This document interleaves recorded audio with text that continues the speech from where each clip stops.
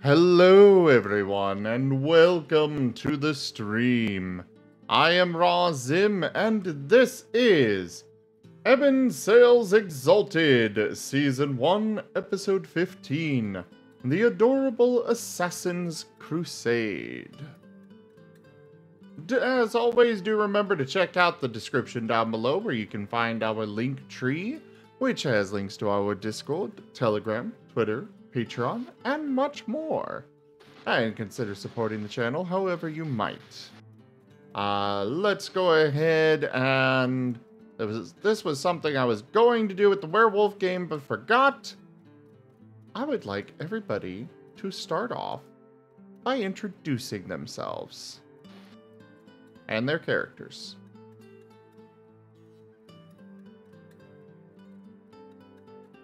We'll, we'll, we'll just go down the list from. Uh, we're, gonna start doing that every at the beginning of every uh, session.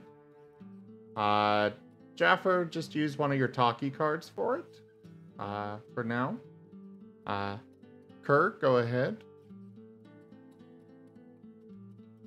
Uh, hi everyone, I'm Kerr.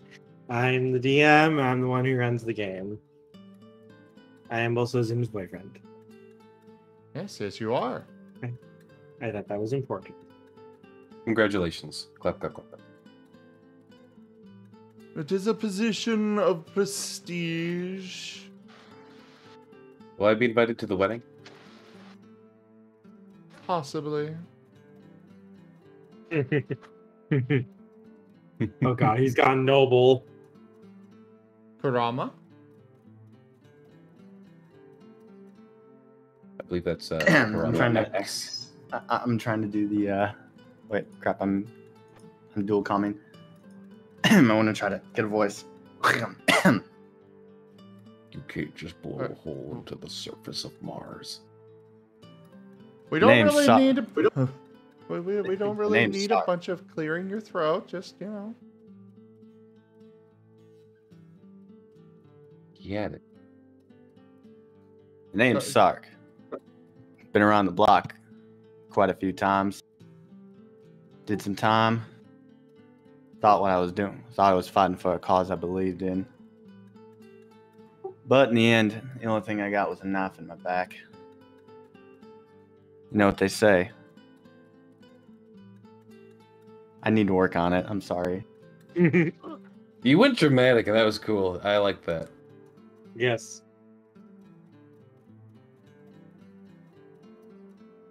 Uh, I, I was more Zim. just looking for, for example, I am Zim, and or Ra Zim, and I am playing Nevis, King of Conquerors. I was not correct. Okay. Okay, fine. Nevis, I'm a King of. Conquerors. That is better? acceptable. Sorry about that. That that's more. Uh, hello, I am. Just yeah. I am the Fox Bard, sometimes referred to in the server as Moriarty McCann. Um, and I am playing the individual known as Cyril.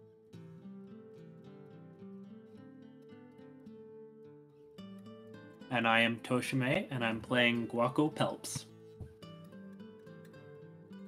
And you're watching Disney Channel. Da, da, da, da. no. Jaffa says, Aw. "Hello, I'm Jaffa. I My mean, we've character got a is lot of murder. foxes in Murder here. is a so- scary combat character Kinda that has sense. even scared the DM a few times.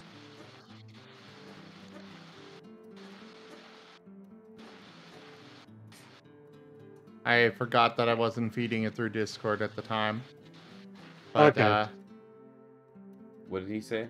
Jaffer was playing his card. yeah. What did he say? Jaffer currently Hello, is I'm sick, so he cannot speak. So yeah, go ahead, Kirk. My character is Murder. Murder is a scary combat character that's even scared the DM a few times. Yes. Yes, he has. Murder has scared me a few times. All right, now we'll go ahead and get on with the recap. Uh, let's see. We'll have Zero give it.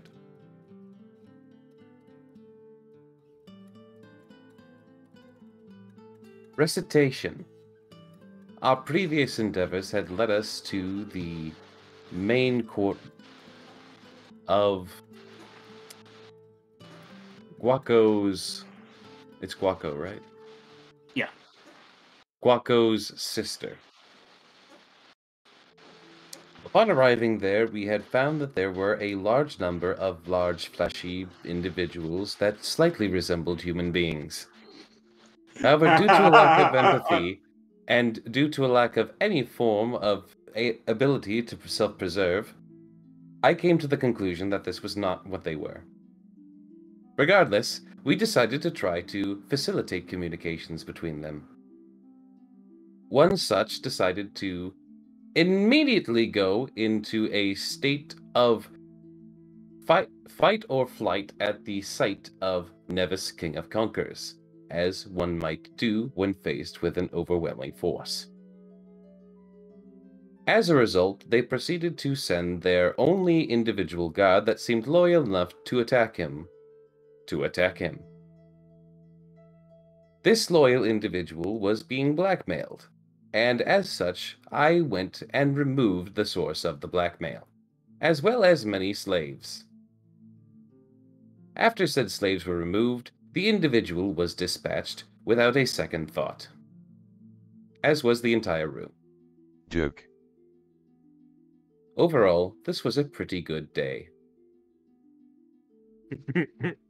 Yep, and no one started the fight.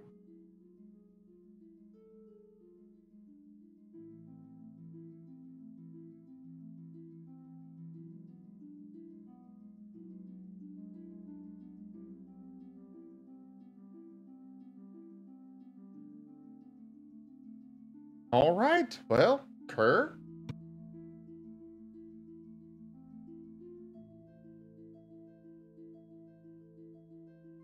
And so we begin again. After having dispatched the uppity nobility that had been causing such troubles for your forces, and as Lady Iceheart has said, the quality of your army has just increased immensely by this. You have begun to make actual plans for the war that is about to start.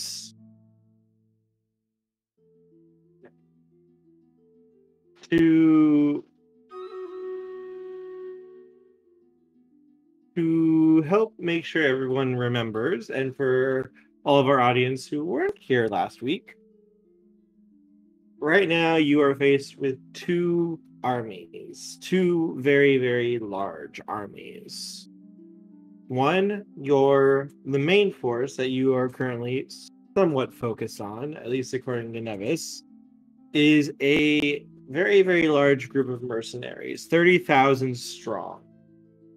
They have taken over a their their main base so to speak is a shogunate stronghold a basically a very very large magical fortress that they've taken over and started using.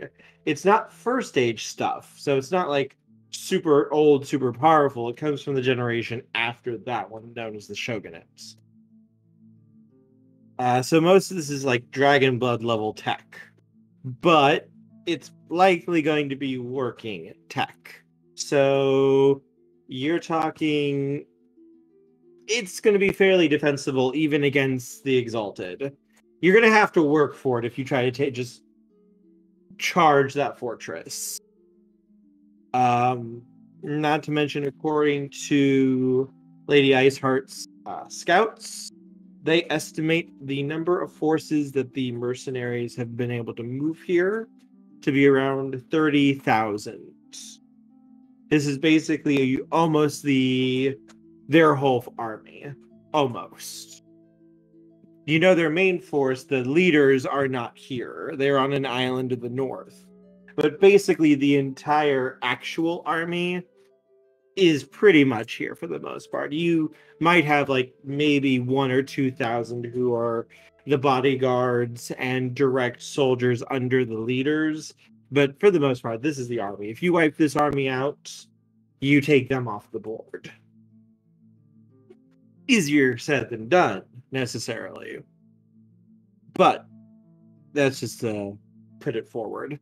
The other issue you have is the second army, an army of beast folk who are prowling around this island.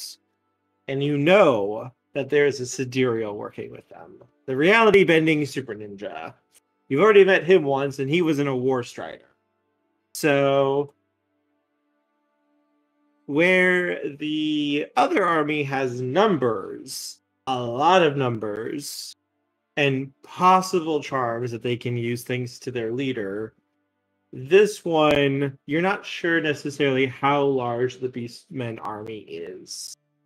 You don't have any exact numbers. You also don't really have any exact locations of their camps.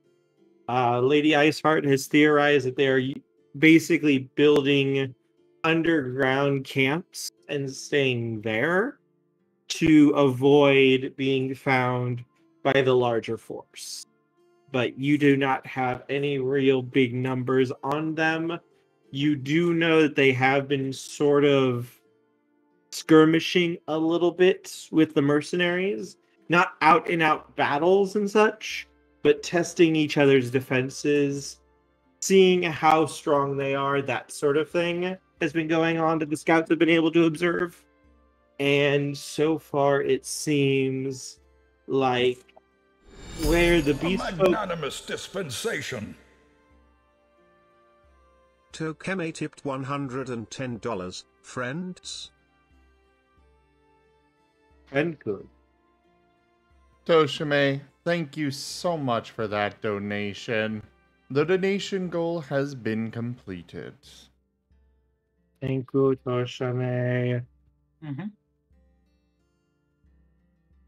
the for the beast folk they've always been moving around in smaller forces you you're talking bands of like 50 to 100 versus the squads of 20 to 30 uh normal soldiers who kind of move around but the beastmen armies these little these large squads these large forces they can tear through a normal mortal group pretty easily. Almost every single time it- it has been a slaughter in the beast fo- in the beastman's favor. However, in the last two or three skirmishes, the mercenaries have been able to actually do fairly well for themselves they've started to adapt tactics that make it much more difficult for the beast folk to throw their weight their weight around to really get at them. They've adopted more defensive tactics against them. So far, it seems both armies are hesitant to come after you guys at the moment. One, you have the walls and such. Two, they know that their last little surprise attack did not work out at all for them.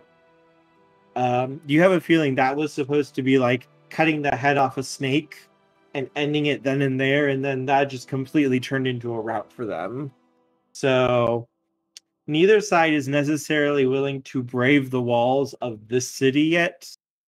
And it seems you're not 100% sure on this, but you're theorizing, at least Lady Iceheart and her uh, strategists are theorizing that one of the reasons that you guys have not been hit yet by basically like the 30,000 strong army all at once is because the mercenaries are afraid if they march all their forces on this city and try to either get into a really big siege or just try to like climb the walls and attack, they're going to get hit by it from behind by the beastmen, and they're just going to get basically destroyed, uh, anvil to hammer, if that makes sense. Two pronged attack. Yep. If the mercenaries go after the your guys' city, when they're on the walls and trying to get in, the beastmen come up from behind them and basically start slaughtering them from behind, and they have nowhere to go. And it's the same thing for the Beastmen. If they try to make the move here and they can't do it really, really quickly, what's to stop 30,000 mortal soldiers from just jumping on them and trying to butcher them?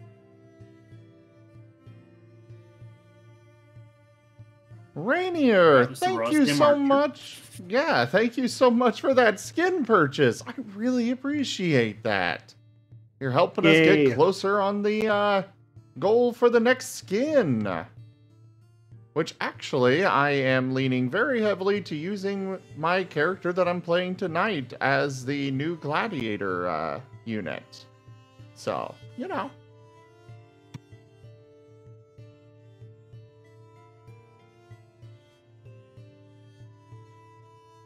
So that sort of information is pretty much what you guys all have at the current moment. Um, right now, you are holding a force. Iceheart soldiers plus the nobles forces and all the people that they've been able to train and basically turn into conscripts to help defend everything is about 10,000, give or take, which is pretty much almost like the population of the city at this point. Other than like the children and some of the w- women and men who cannot fight. Um, food is okay for now. You guys have quite a lot of food. You still have water access. Um, your guys' navy is holding strong and able to still get in food send out ships to fish.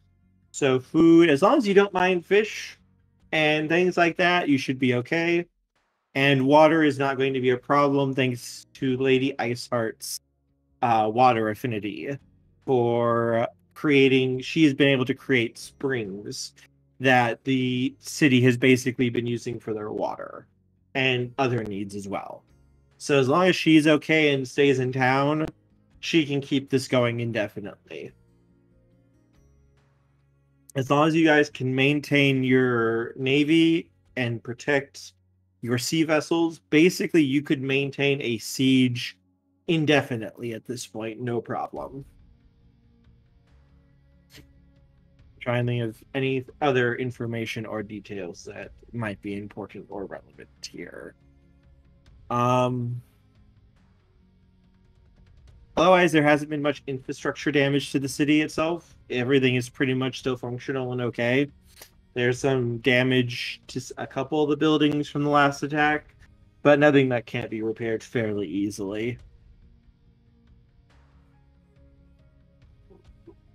Um, is there any questions any of you might have about any sort of strategic things that I might not be thinking of? Or just questions in general?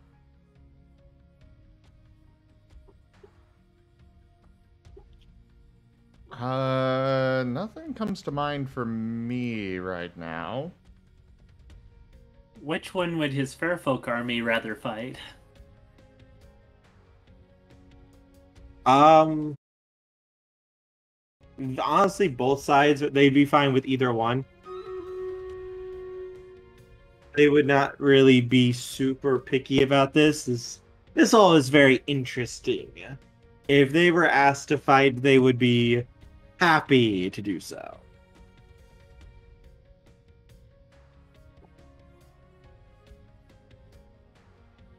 Um, and of course, you do have your own army as well, Nevis. Um, right now, if you attempted to attack the fortress, Nevis, based on your, I'm not even going to make you have to roll because this is such an easy thing for you. You will succeed basically no matter what, unless Lady Luck says no. So there's actually rules in place that says if you can just basically do three times the difficulty, you don't even have to roll, and you easily have that. Um, Nevis, you know, if you try to attack the fortress right now, the main base of the mercenaries, it would probably not go well for you. You could, you would probably be able to win, give enough time and who you're with and everything. I mean, just unleash murder upon them. Eventually, you're going to win. Um, but doing that, going that sort of course of action, is going to lead to a lot of casualties, a lot of death, You're gonna lose a lot of your army if you try doing that. Do it. Um,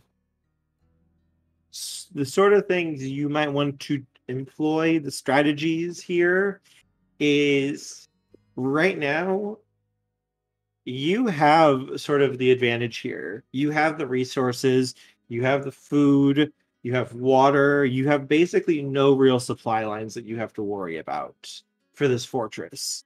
You can maintain a slower pace in this fight because most likely, based on what you know about what you're dealing with here, these other two forces are going to be having to import food, water, supplies, all that. That's going to be take supply lines that take ships. That's going to take work and effort to maintain. So it's going to be harder for them to maintain a fighting force than it is going to be for you a longer fight favors you guys, despite how kind of crazy that might seem.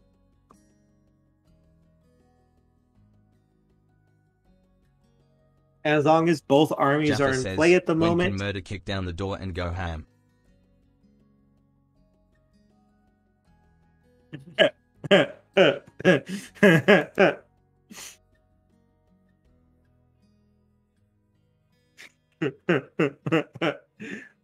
murder, murder.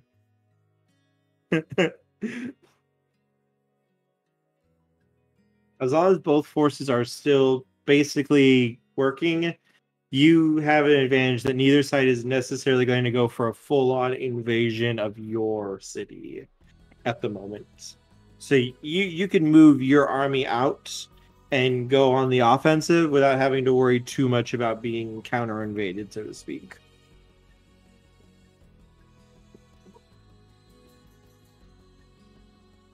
Because for all they know, this could be a bluff. You could move your army out, make it look like you're marching somewhere, and then immediately double back and hit anyone who tries to go after your fortress.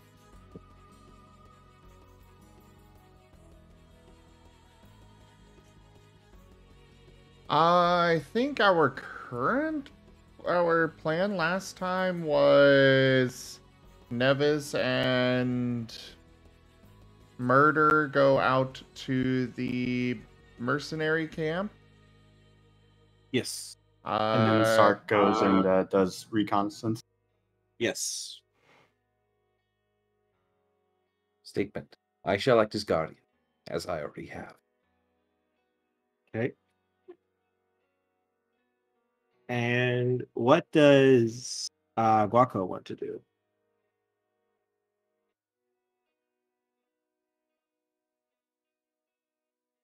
This is interesting. We could parley with the Beastmen to have them attack the Shogunate fort with us. You could attempt this, yes. That is something you could try to do. Query. May I suggest a more finesse approach?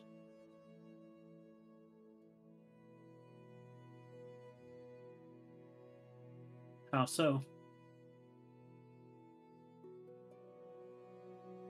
Description War is a very large and bloody thing that is often fought between smaller numbers of individuals than the actual numbers of who truly die. Recommendation To avoid the larger masses dying, it is better to cut off the individuals who are feuding in the first place, that being usually the leaders in command.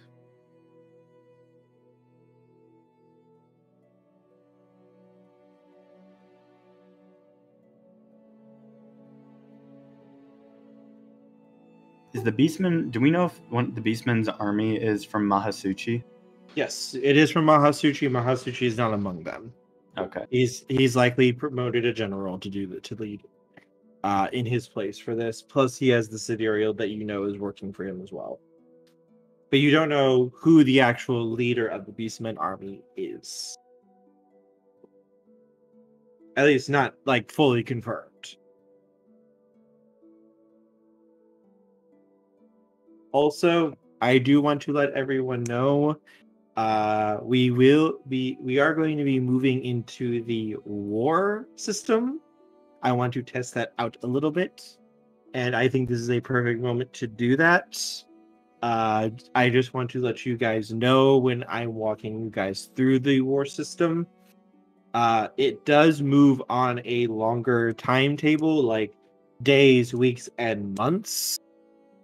Um, so don't feel like, hey, we have to do all this at once. This is going to be broken out into like days, weeks, or months in time in universe time frame of you guys basically doing what you're doing.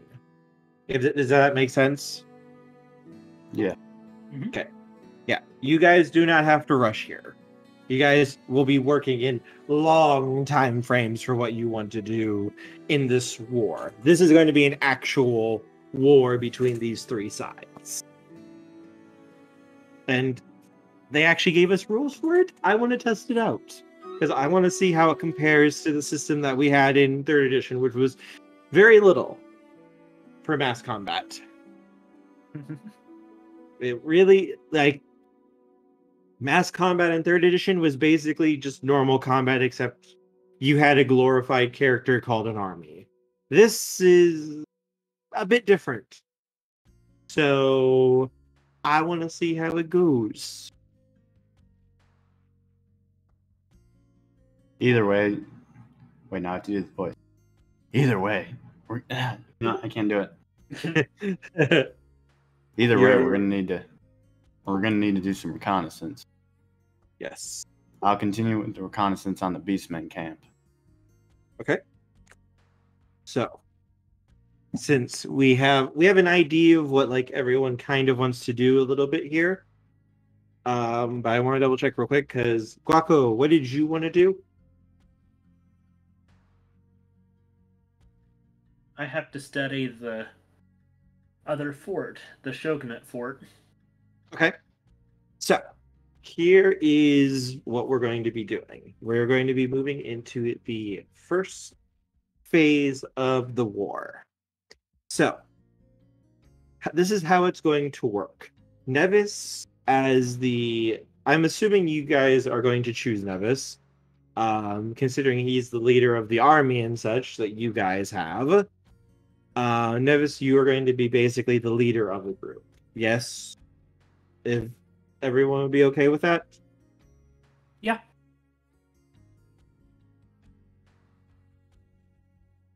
I I thought that was okay. Yeah, let's do it. I just wanted to double check. I didn't want to assume anything from anyone. Um, so here's how it works. This is how the war system works here. Uh, each of you get to decide on something that you want to do. You guys have basically already done that for our first for our first phase. So here's what we do then is each of you are going to roll something for me.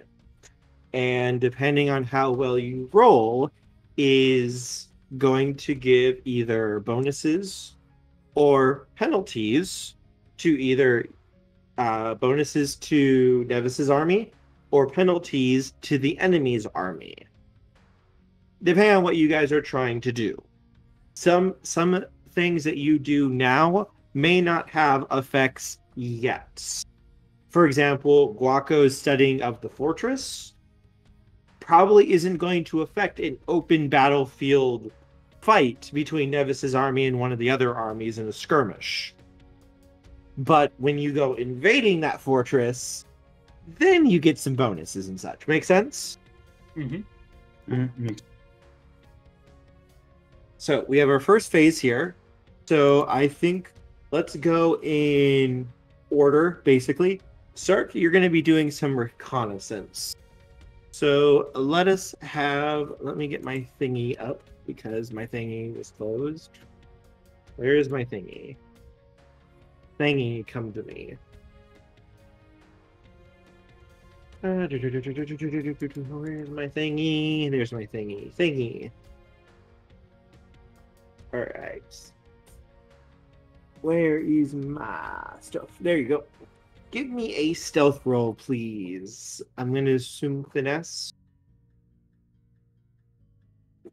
And if you have any charms or such that you wish to use, feel free. Yes. Feel free to use any charms and such that you wish to use because these are going to be long term things. You guys are doing this over like days of time.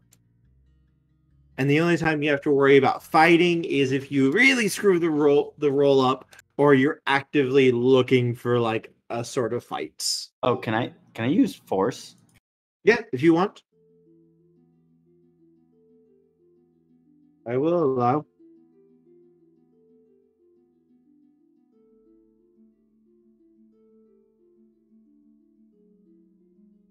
The way it works, Kurama, is you use whichever of those you want, but you gotta describe how you're using it. You're so I'm going to. Uh, It's a stealth check. let's say I'm. Yeah. Yes, I'm gonna So- try to. Force. That's gonna be a hard one. Yeah, they encourage role play and being descriptive with actions in this game, in this Mhm. system. So, So what I'm gonna do. Doing what you did for your introduction, do that. Yep.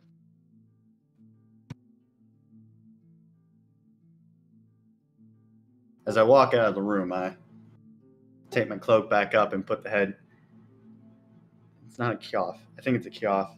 I put. I'm just gonna call it kioff. I put the kioff over my head, just, just yeah, just, eh, to sort of hide my face. As I walk out, I make my way to the camp.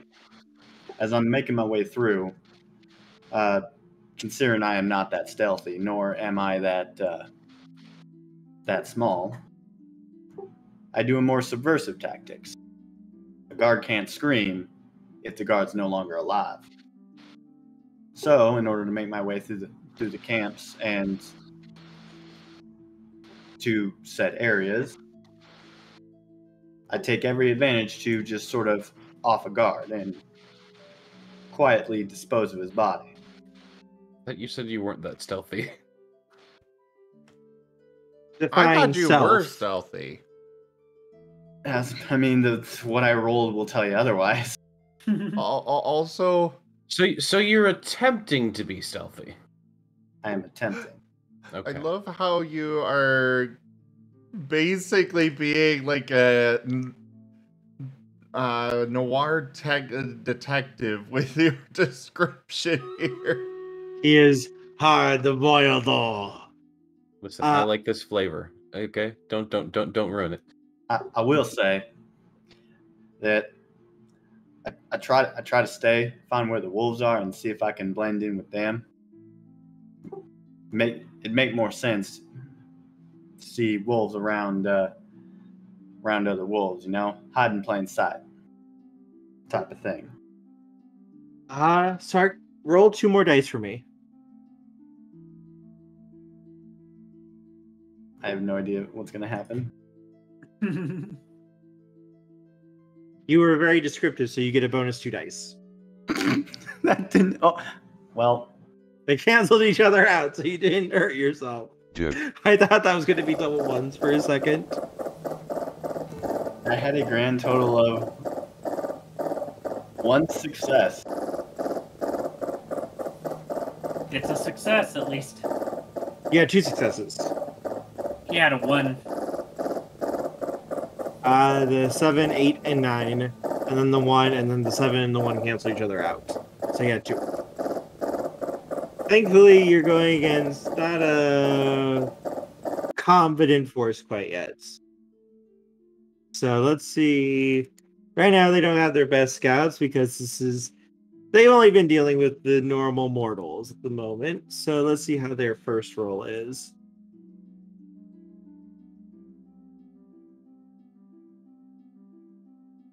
I get Not- caught, it better be because I stepped on a twig.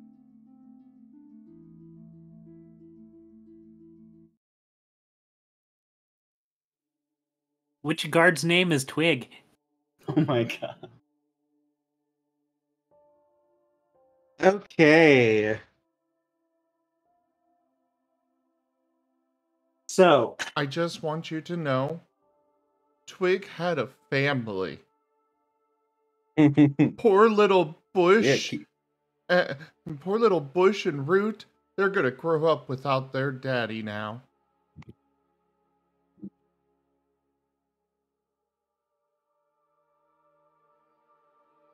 And let's not forget his husband, Branch.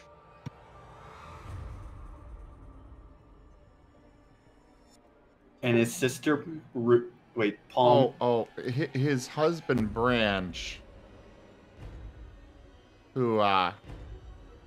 Well, let's just say Twig called him daddy too.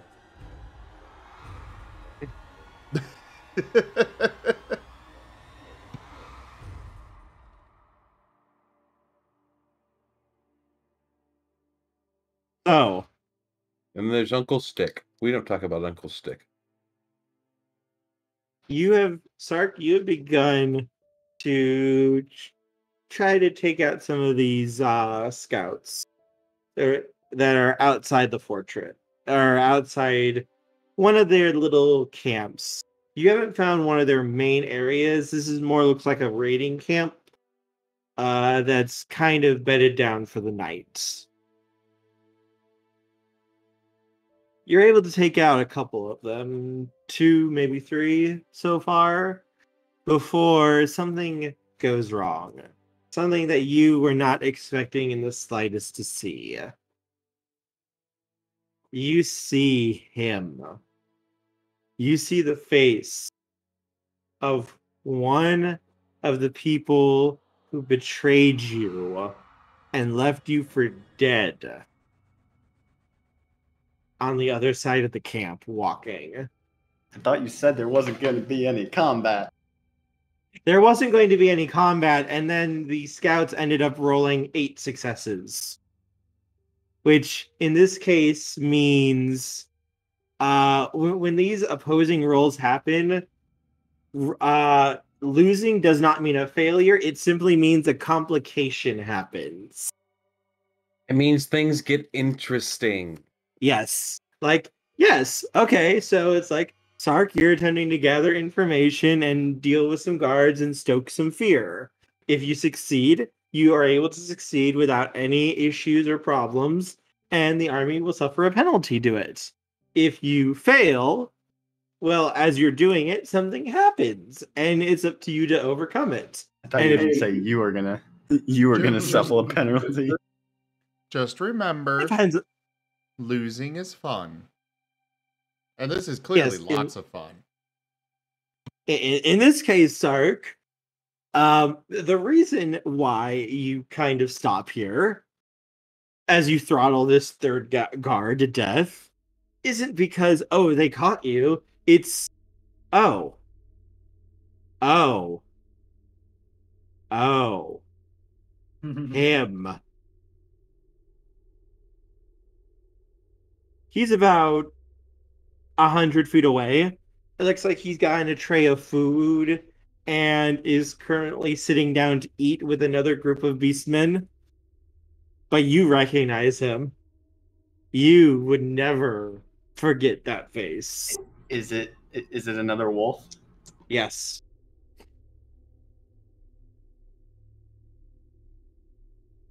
All right, now there are a couple things I could do. Yes, there is.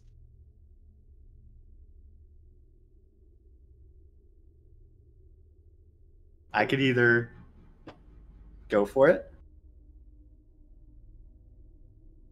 I could either try to resist all and try to figure out how to do this smart. Or I can leave it up to fate.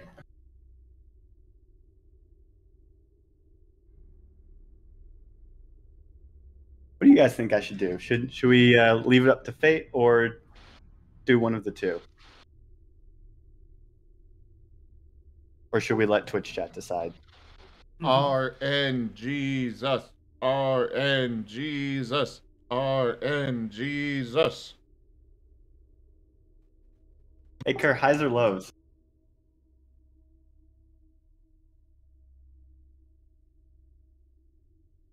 What's up? You cut out there? Highs or lows? Hi.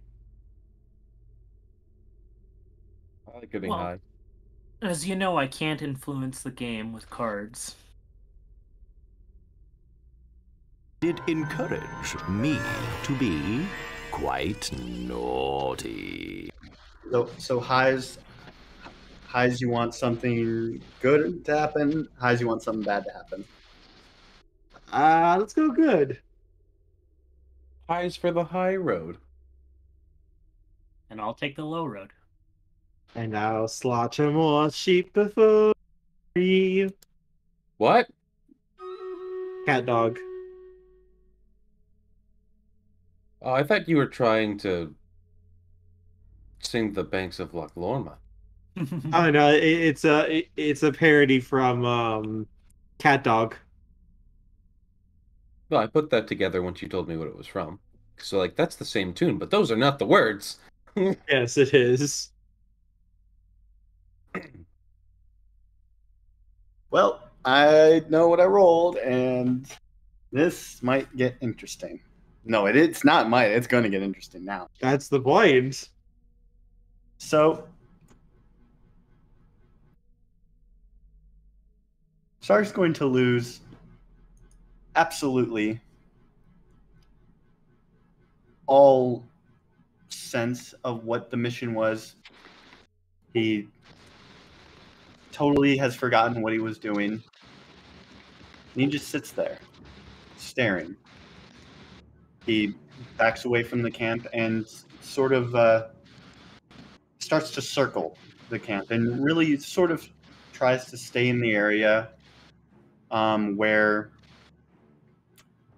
this this uh, this fellow this fellow wolf is uh, sitting and eating. He's gonna stare,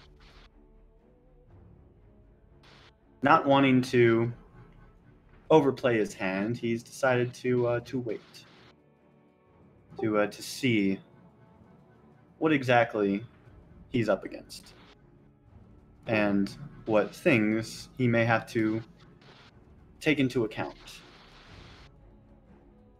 In other words, he's going to watch this man or this other wolf Mm-hmm.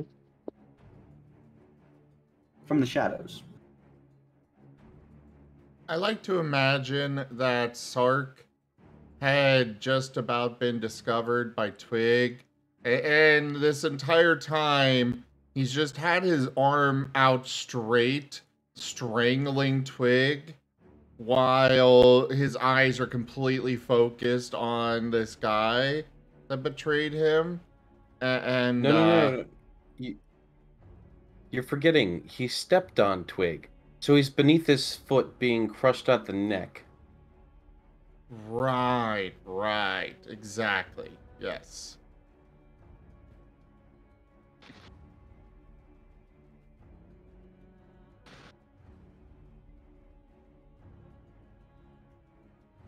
Give carry me a awareness roll.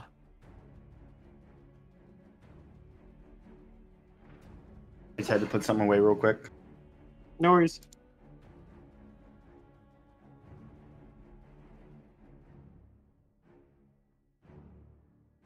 So is it uh, next person's turn?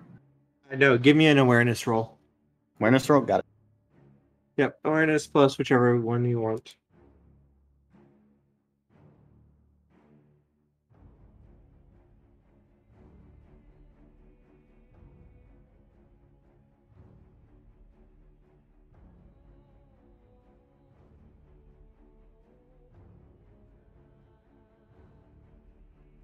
You know you can roll them all at once, right?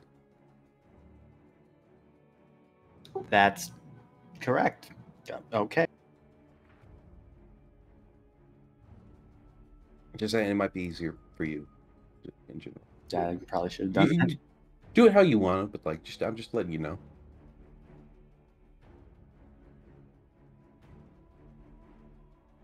That was significantly better. Yeah, yeah, you do good.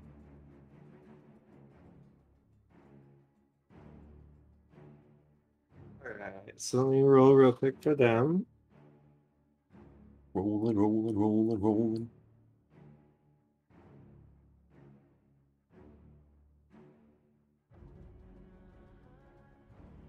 They rolled much worse this time than they did before.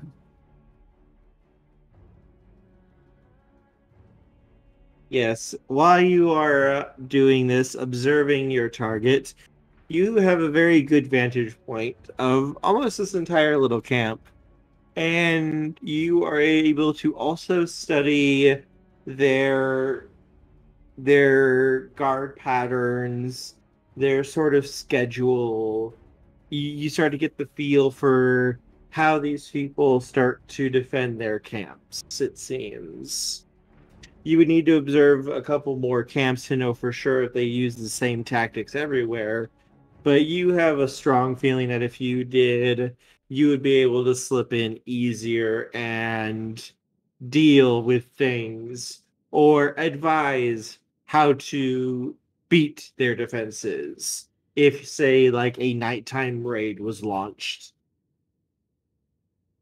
And all this time as well, you study him, watch his every move to learn exactly what he does and where he is staying. I know- And hmm? I was about to say, do I know how many guards exactly are in the camp? yes, there's about 15. So realistically, if I just slaughtered the entire camp, I could do it. Um, the camp is about a hundred strong. So you might be able to pull it off, but it would be a little bit dangerous on your own. You would It be would take fighting a little bit battle group. longer. Yes, because all these are trained soldiers. They might not be fully armed and armored, but they're beastmen. They are kind of walking weapons as they are. Uh, when when I um, I guess what I'm going to try to do is I'm just going to wait until he he's alone until like this one person is alone and he's sort of off by himself. Then uh, then I'm gonna make my move. Okay, then we will come back to you. Let's move on to our next person in our list murder.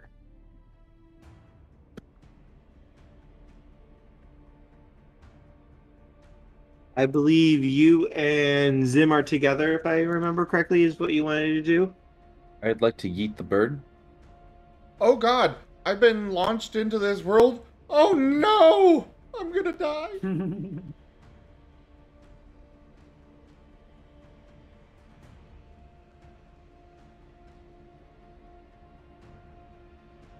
Uh, there's no battles yet, though.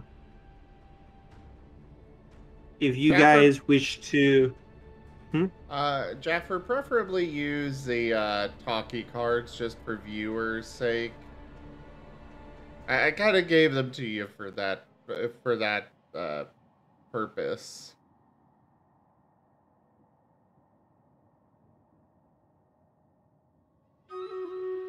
Jaffa says, if there's no battles or targets, then I don't know what murder will do.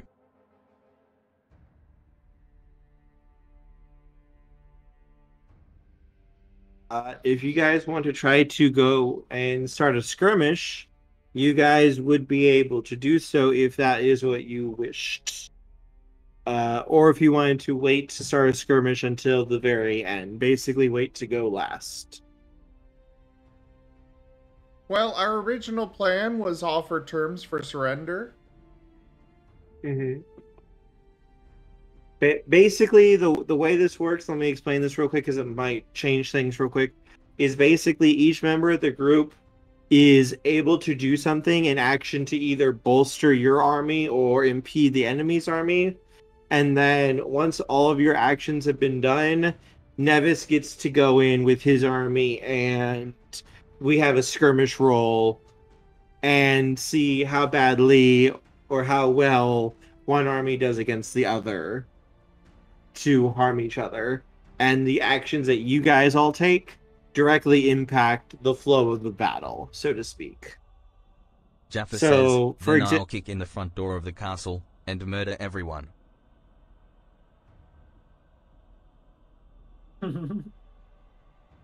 No. Yes. Nevis was very particular about giving them the chance to surrender. Uh, like an example, one of the things you could do if you wanted to, uh, Jaffer, is like you could scout out locations to fight at to basically lure their their your opponent into a bad battlefield that favors uh, Nevis's army. Uh, because right now you already have a reconnaissance guy out. Uh, or you could help out during the battle. Like you could be one of the fighters in the battle and you would be able to assist Nevis's army in slaughtering the enemy.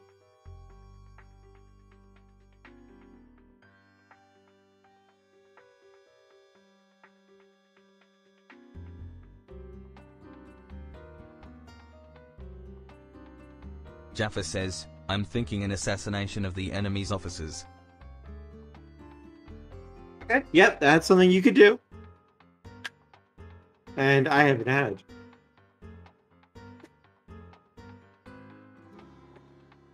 Would you- Would you, uh, Nevis? Would you allow him to target the enemy officers? That would be fine. Okay. Jaffer, uh, which army would you like to target? The Beast Folk, the Beastmen, or the uh, mercenary human army?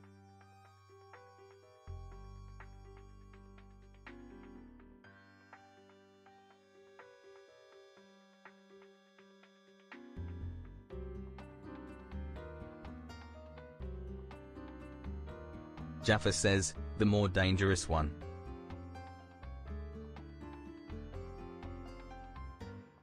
Uh, they're both dangerous. They're just different in different ways. You would probably do more damage to the human army with this tactic than you would with the beast folk army. if going after the officer, you do know there's a sidereal officer. Yes, it'd probably be safer and more effective to go after the mortal army. The the beast folk would probably be able to get uh someone up Yeah. pretty quickly if you killed someone, but the humans not nearly as quickly. They have the more conventional forces, which makes them more uh, susceptible to this tactic.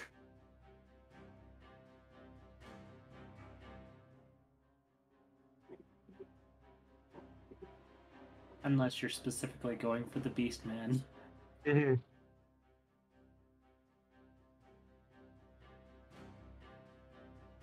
Jaffa says, Martin but I want to murder the sidereal.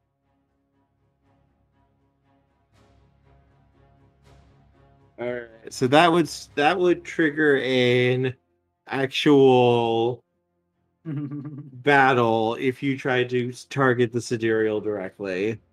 Th- that would be an actual like battle battle.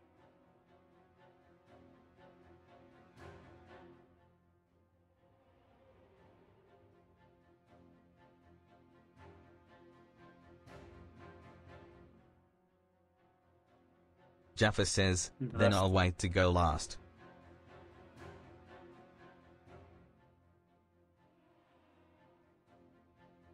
That's the combat music starts playing on stream. Oh boy. Okay. Cyril, give me what you want to do. Well, I was protecting the fort until they got back, so I protect the fort until they get back. Give me an awareness roll. Oh, wow. Awareness. Ah. Ah. Okay, sorry about that. I inhaled a little bit of my excitement, and it was too strong. One sec. Give me just one second, you guys. I'll be back. You're good.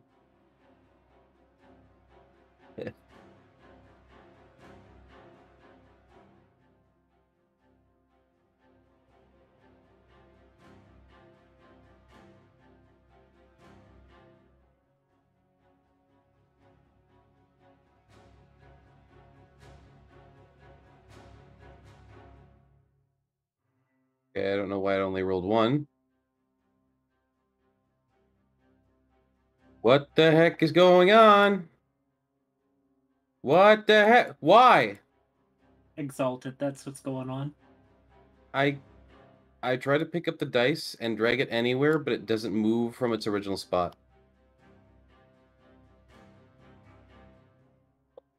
Is there a command? Is there a type command I can roll? Uh, maybe slash R, Slash R. and then how many dice? Like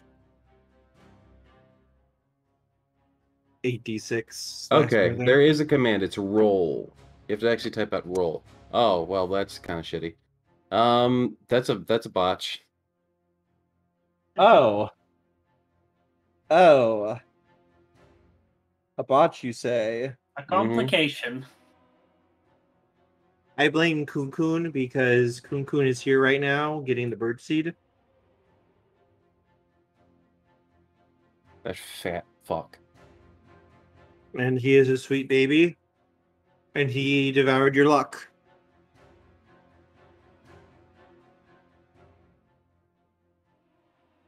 So, Cyril, Yes.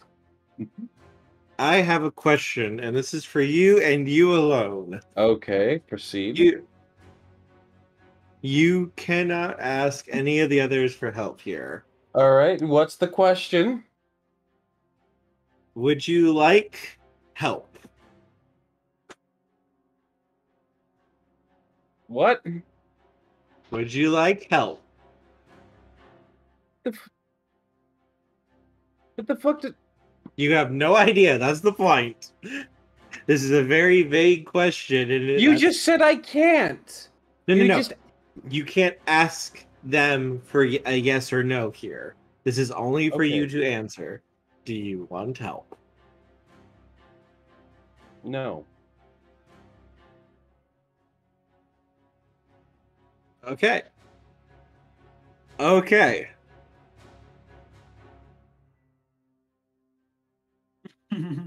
Is that your final answer? Yes. Okay. Um Cyril, while you are guarding in my room. you only notice a little bit too late that there are aquatic beast folk in the water. Uh, dolphins and sharks, by the look of it. And they're studying the fortress. They are studying the insides, the comings and goings of the boats. But by the time that you are able to actually notice them and start to move down to go after them, they start to swim away. And they are able to escape before you are able to do anything to stop them. Excuse me. There seems to be a bit of a problem with uh with your proposal here. Mm-hmm. You're assuming that I'm going to move down to them. Fire. I mean, before you can even shoot them either. Okay. To get That's within reasonable. range of your gun. Even if I turn invisible. Mm-hmm. You. Ooh. No, I get that. I'm just saying, like, he would use stealth. But Mhm. yeah, okay. Basically, by the time you notice them, they're already getting ready to swim away. okay. So it's- it's just bad timing on my part. Basically, yes.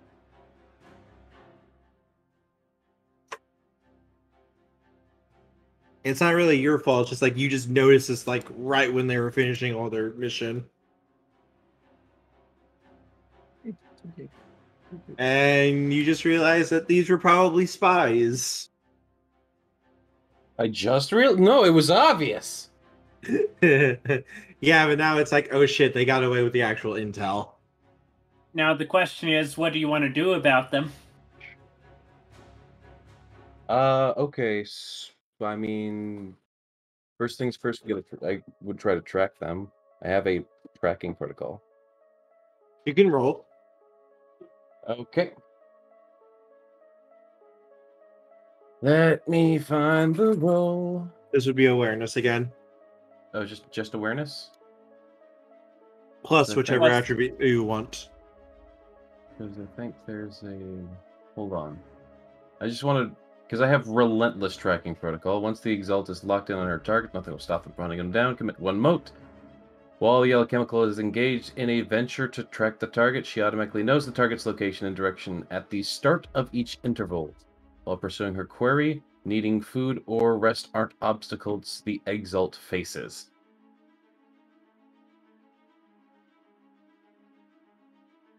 Oh boy. Is this effective? If you want to start a venture to chase after them, yes. Basically, what that means is a venture is an extended roll. You have to roll to overcome obstacles or challenges that try to stop you. Alrighty. Then I'm s- I am committing two motes, one for the relentless tracking and one for awareness excellency. Okay. Uh, ba, ba, ba. Eight. That's another five, so that would be thirteen dice.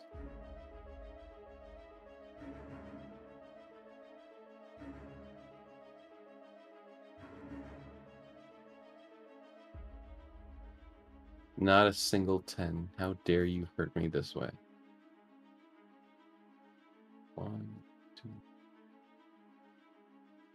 It's Two successes. Where'd you go? Anybody?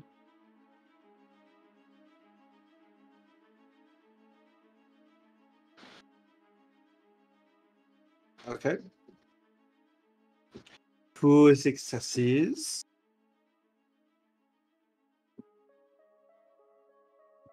That is enough to get into the water and start your pursuit without losing that. And you- now you're basically like you just ran forward and dove into the water to make sure that they couldn't swim away. Uh, your life sign tracking uh, protocol basically tried to lock onto them. Now, Cyril, I have a question for you. I have an answer. Go on. Do you would you like help? I don't like that you keep asking me this. I'm gonna stick with no. Okay. Okay. So, Cyril, as you're swimming, uh, you can see the water, the eddies are getting a little bit difficult. They're kind of tossing you about a little bit. Um, your your your body is much a little bit more clunky than theirs are when it comes to water navigation. So I need you to make an athletics roll for me. For our next. Oh, actually, wait. I take the back. Hang on. How would you try to overcome getting through these, basically these tides under the uh, water? All right. I know you're gonna like this. I'm gonna take my gun. Can put it in the water. And I'm Oh, gonna you're- sh- You're in the water. Yes. And I'm just going to shoot it to help propel myself. Like an engine. Through the current.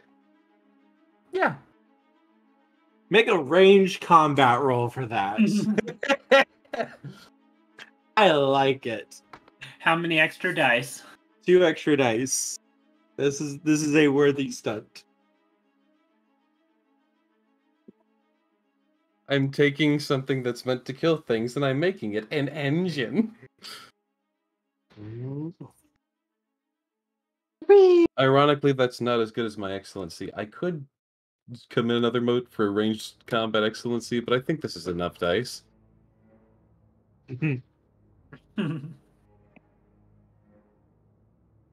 How dare you? All right. Well, uh, that's one, two, three successes now. All right. Ranged comb. Come on. So the, the the eddies of the undersea area begin to batter you, toss you about a little bit, knock you around, and slow you down. But rather than let that deter you at all, you just cock your uh, rifle, set it to its lowest settings, and basically use the giant waves of heat it gives off to blast you through the water like a cannon almost as you begin to catch up to them now. See this? This is my boomstick. Brilliant. You are able to close the distance and starting to get closer to them. Now, I have a question again for you. Would you like help? Just we're. I'm just gonna set down the word no and ask that it be assumed for all scenarios at this point. I I just have to ask. Okay. I'm I'm I'm telling you no, and please assume that my answer is going to be no. Okay. I'm I'm checking the do not ask again box. Cyril, you're getting closer to them, these two uh, spies. And as you're swimming, though, it seems a pair of sharks have taken attention to you. And they're starting to swim up towards you. What would you like to do to overcome these pair of great white sharks that are coming towards you? I'm using my gun as a propellant system. I very briefly just switch it back to gun and shoot them. You fools! You're just going to try to shoot the shark. Yes! Going from lowest power and turning up the power crank. Okay. Make a ranged combat roll. You fools, I had my weapon the whole time! You wouldn't hit a man with glasses, would you? You Takes hit a man glasses off. Glasses. Played. Alright, so that's uh four successes. Those poor shark coons. They were just kind of curious. It's like there's this big shiny thing. Can we nibbles it? No. I don't know. Let's let's go see. I don't know what this thing Stop. is. No. And then Cease and desist. And then when they were sw- swimming up to you, you just proceed to basically vaporize them and some of the water along with them. oh yeah, I'm probably doing like some e- e- ecological damage right now. I don't know who's stubborn, him or murdered. I feel like I'm like boiling the water around me, just using this thing.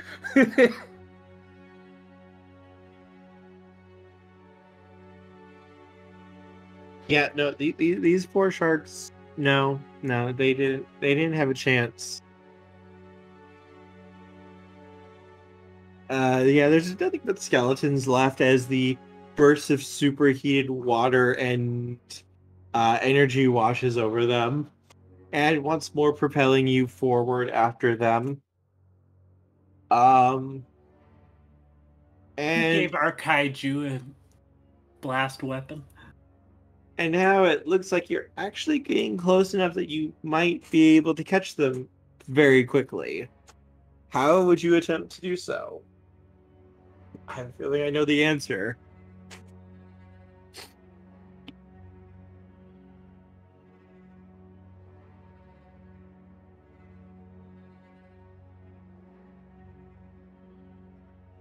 Sorry, someone just messaged me. What was the question again? You are now getting close enough that you might actually be able to catch them now. How do you wish to attempt to catch them? And I feel like I know what the answer might be. Ah, let's see. Let's see. How many are there? Two. Two? They're swimming All right. fairly close together.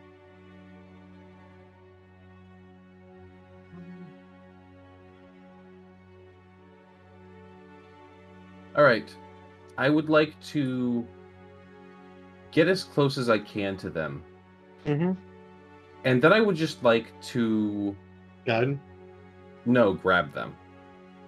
Oh, okay. I'm actually going to attempt to grab grapple them. I don't know what role that would be.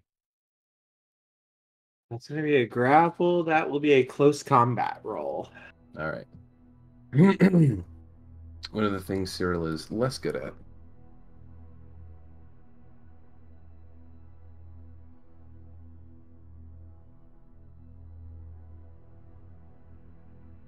What's with all the wands? One success. All right, they actually get a chance to roll. They're not well trained though. So they only have those. And they botch. They botch as you are able to get your hands on them. How did they botch?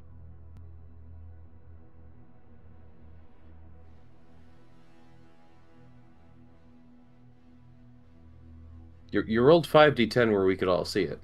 I know. No, they have another penalty that you don't see Oh, okay.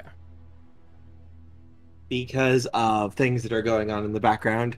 They stepped on an undersea. Like the, the the water starting to boil from gun. yeah. Mm-hmm. Here's to new beginnings. Actually, actually, it's specifically because you use the gun that it changes the first success they roll into a one. Oh. Damn. I wanted to, I wanted to reward the inventiveness that you had. Cyril's main inventiveness. How can I use this gun in this solution? When in I'm doubt, gonna- gun.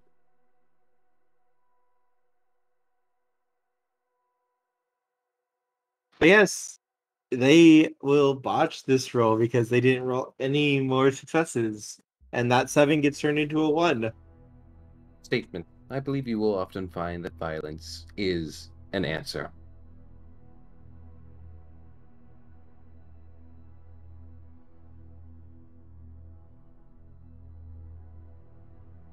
as the two squirm and try to get away, and you hardly even feel their struggles.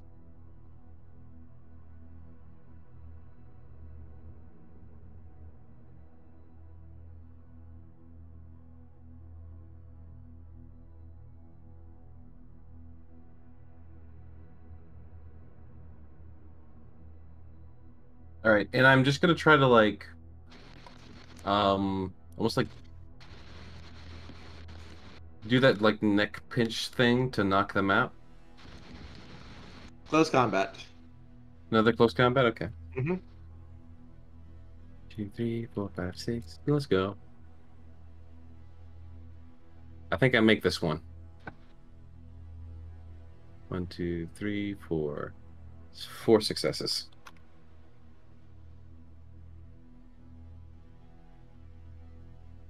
Bonk. Bonk. You It's less gotta of a go, bonk, and it's more of a just.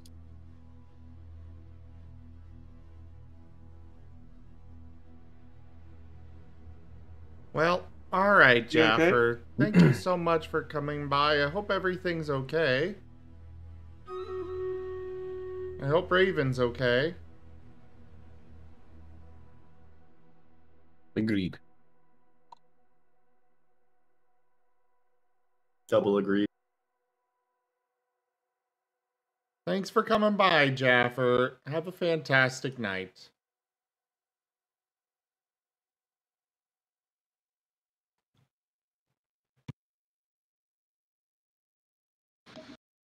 Alrighty. Well, uh, and then he just like once he has them both knocked out, he begins to swim back with them.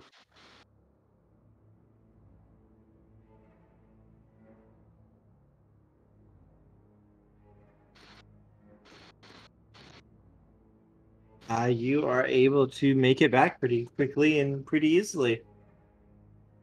Nothing gets in the way this time because you don't I'm need I'm, to. I'm notably not using the gun to not kill these guys.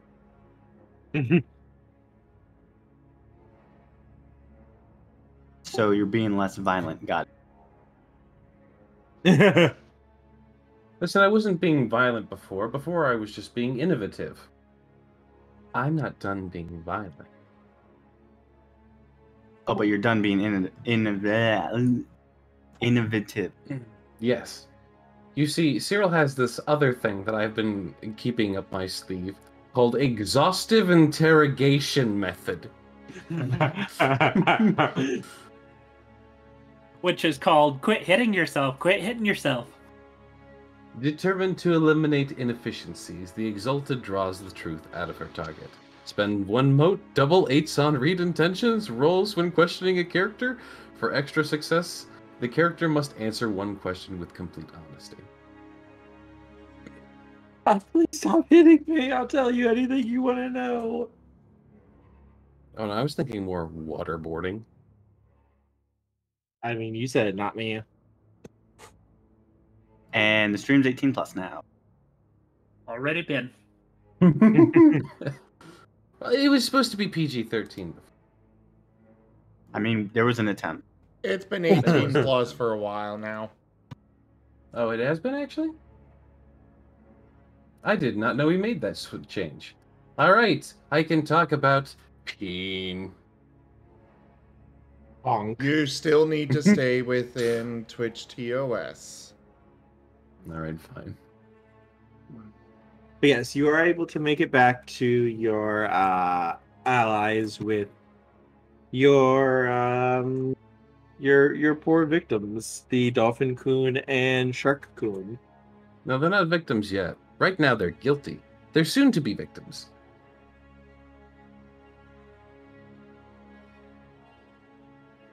And But I'll let someone else have a turn. yes, it is Guaco's turn now, and he is gone out to study the uh, the Dragon Blood Fort. Yes, Mm-hmm. that's going to be a sagacity roll. It's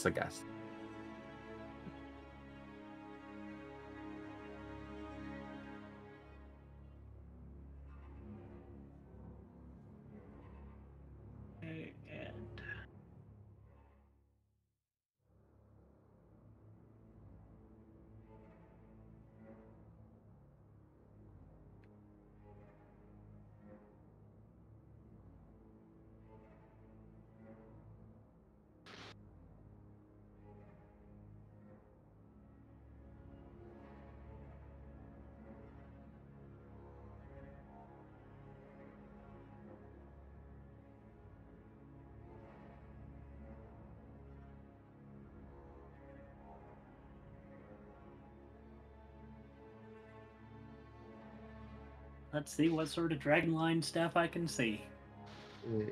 Let's see. With that, it looks like this fortress is.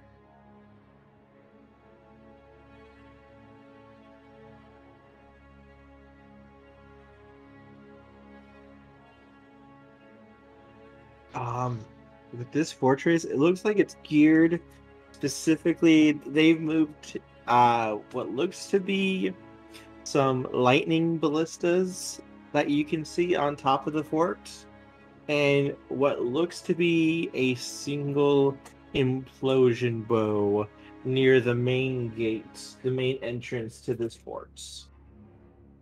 Um lightning bu- ball- ballista basically uh launch as the name says basically solidified bolts of lightning and they are very, very, very dangerous to, especially like armies and such. And the implosion bolt fires a bolt that, when it hits, basically draws everything into a small singularity and rips it apart. It basically implodes the space around it. Notoriously effective against large groups of uh, people. It seems that, based on what you can see here, they are fortifying and setting themselves up for if any army tries to come after them here, they're gonna get fucking torn apart.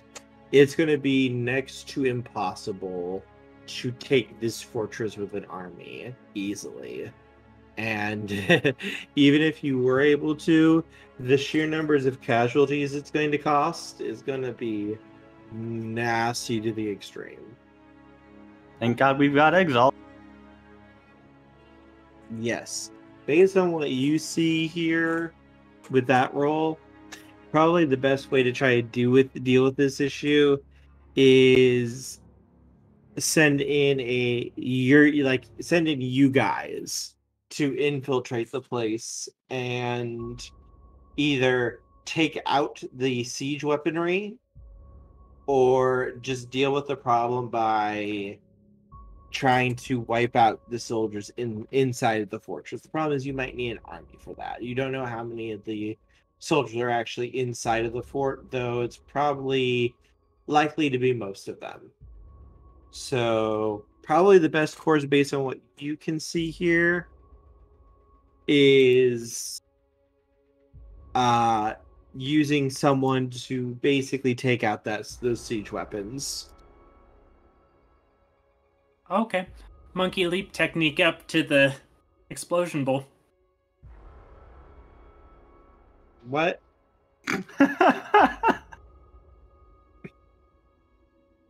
I can jump one range band in the air as a movement action. Mm, indeed, you can. Um, can I have a stealth roll, please?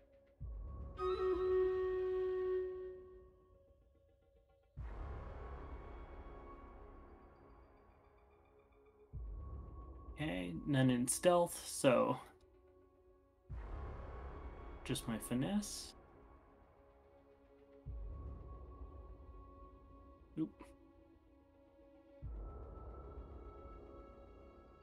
So that's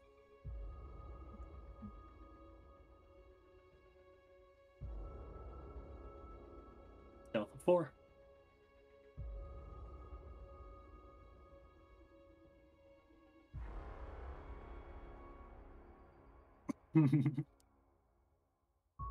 Not needing a big army to do this.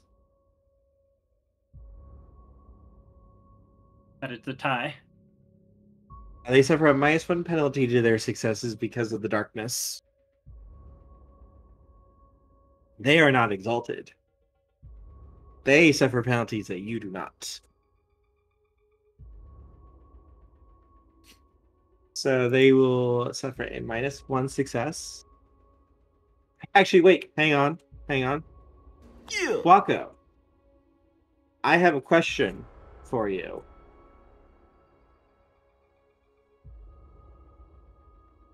Would you like help? No thanks. Okay. Uh, so with the minus one penalty that they have here, they will. Uh, I still have that ten, so they might still be able to succeed. They might be able to tie it. Let's see. God damn it, dice. Why? Yeah. Yeah. Guaco, you are able to get up onto the wall without anyone currently seeing you at the moment. But you're not sure how long that's going to last before guards might show up on a patrol. Okay, easy enough. Get on an implosion bow and turn it into the fort and fire.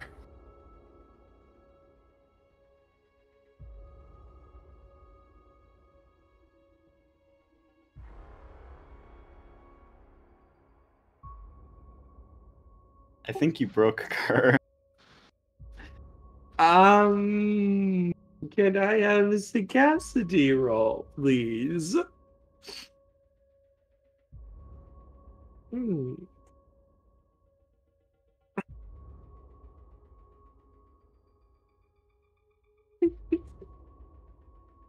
Hmm.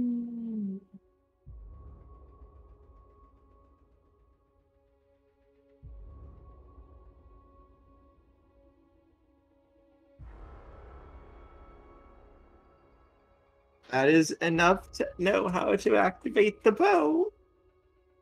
Make a uh, weaponry roll, please. Uh, where is it? A ranged combat roll for me.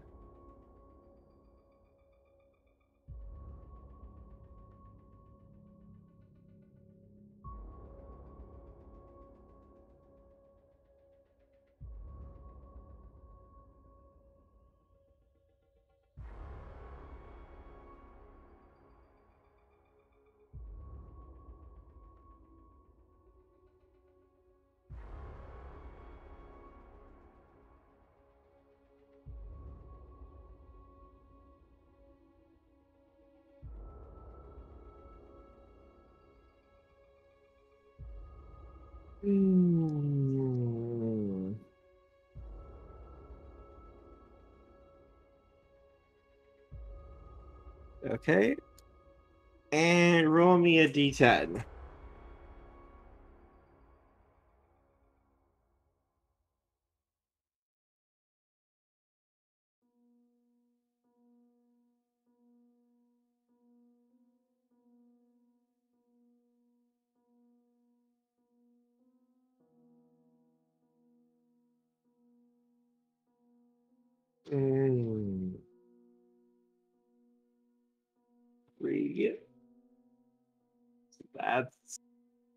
Going to be. Let me check my sheet real quick.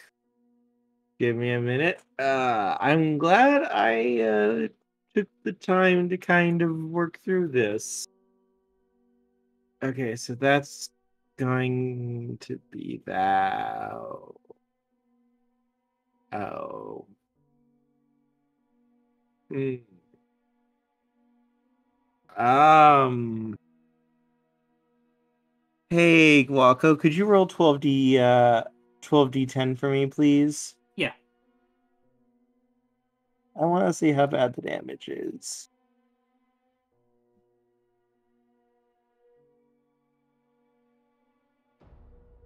Wait, 12d10. Ooh. Mm-hmm. Reroll eights as well. Eight, nines, and tens. You have double eights on this. Because lightning ballista are made to. You are you on the lightning ballista or the implosion bow? Lightning ballista. Okay, yep. They have double eights against structures.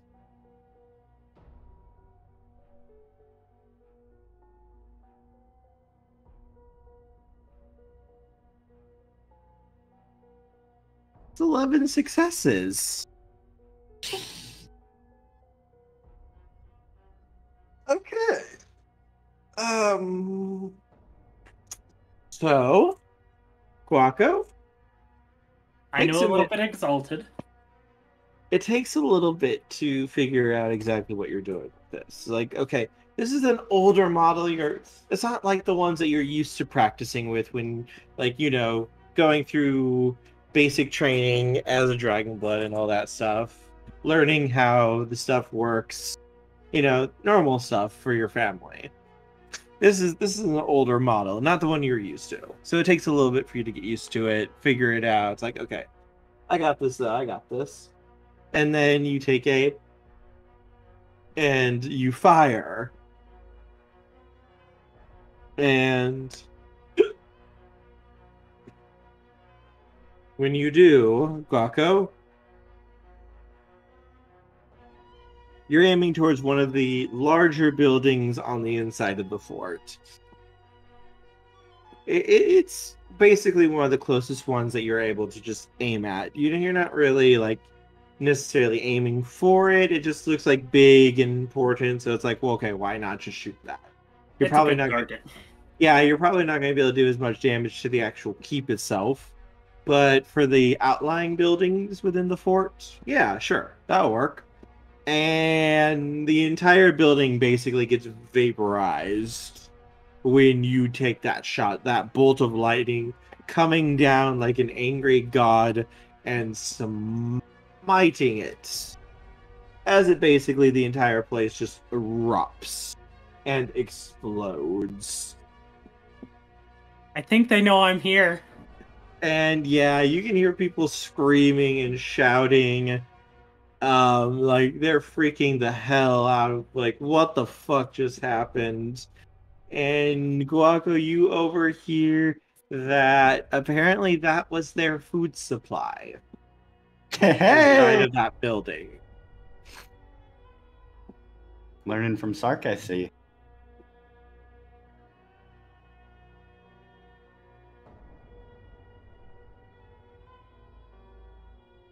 And can I do a feat of strength to take the bow off the tower? Yes, you may.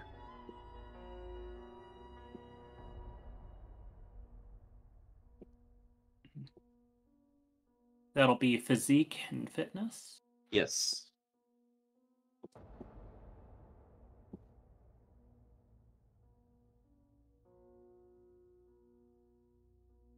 I have the power.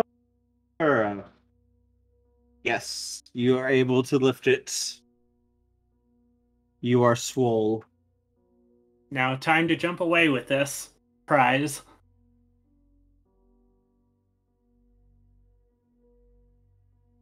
All right, make uh, athletics roll for me. And this is also using Monkey Leap. Yep.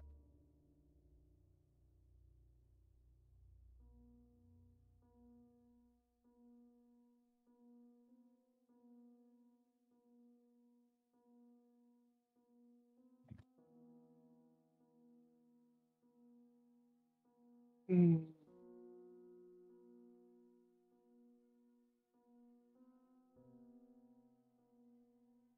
All right. Yep. Yep. You are able to get away scot free with that, along with your monkey leap technique. Parkour! And time to bring this to the town for their own defense.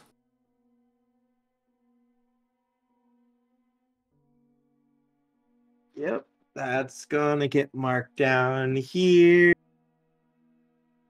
as you make it back. And and Nevis, you see Guaco come back with a giant metal, what looks like a giant metal crossbow.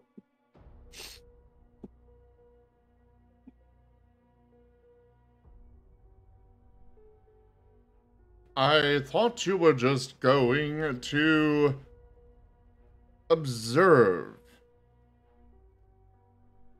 I did observe, and I saw they had a weakness. What is that? This is a lightning bow.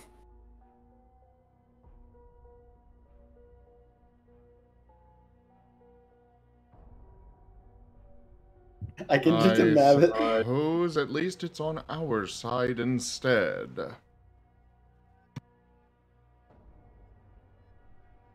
Can just imagine Nevis just staring at Guaco, just what, just trying to figure out how to process and or what to think. What did you do? They have worse weapons there than this against armies.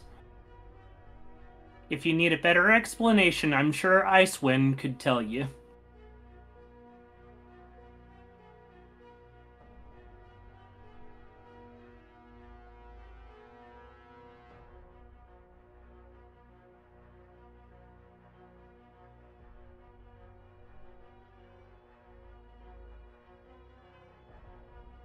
Yes, this is um lightning ballistas are rare. They are very very difficult to make.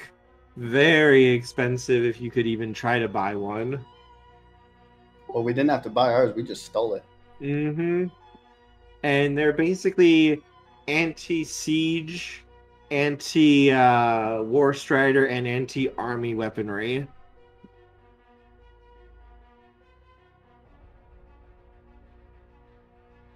They they are they are basically the equivalent of like a rocket launcher that shoots lightning bolts.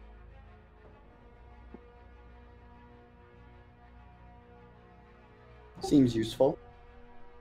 Oh yeah. Oh yeah. They have their own internal supply of essence. And usually like Dragon Bloods or an Exalted can refuel it by using their own motes. Or by putting a Hearthstone into it to serve as the battery for it.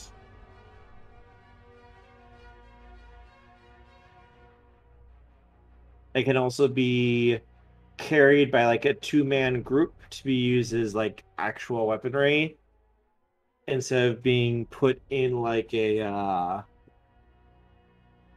in like how the fortress was And what makes one extremely scary is if you have hmm, an exalted like Cyril who gets equipped with one. yeah yeah uh alchemicals can be when they get big enough can be installed with it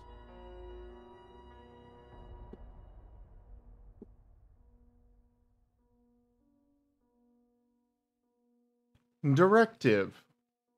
Cyril, install this on yourself.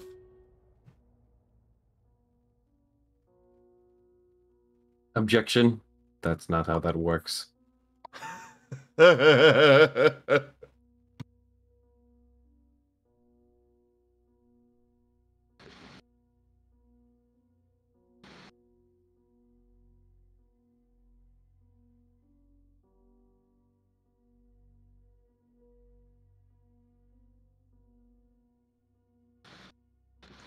yes since jaffer is gone nevis it is your turn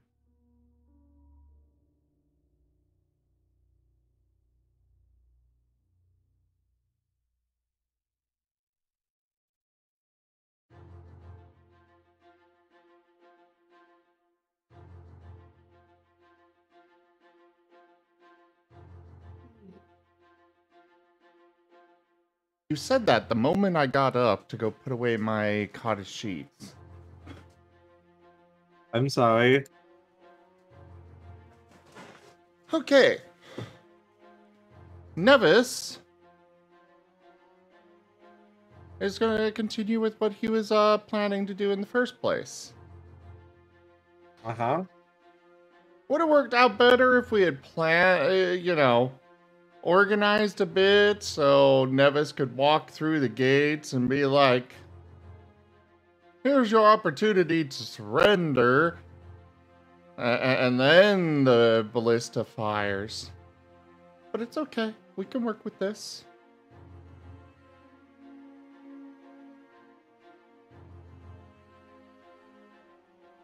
So, Nevis is just going to walk up to the gate of the uh, fortress. I imagine Nevis just like looks over, angry face, walks up. That was a warning shot.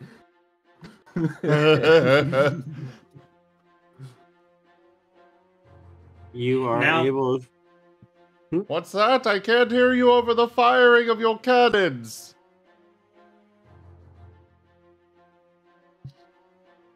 I love that one. Anya is great to play with.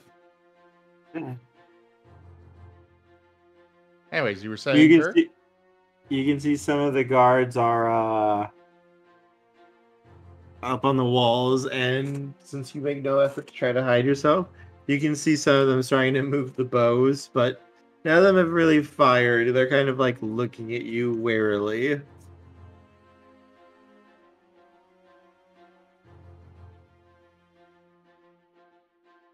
Are the gates open or closed? they're closed What would it take for Nevis to just open the gates? that would be a feat of strength that would be physique I have a thing for this.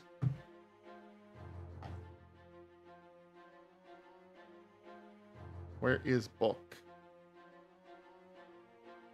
I need book. Book, come to me, darling.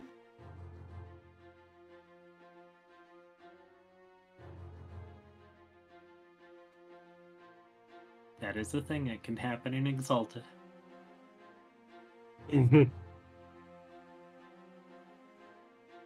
Uh, as part of my upgraded hybrid body transformation,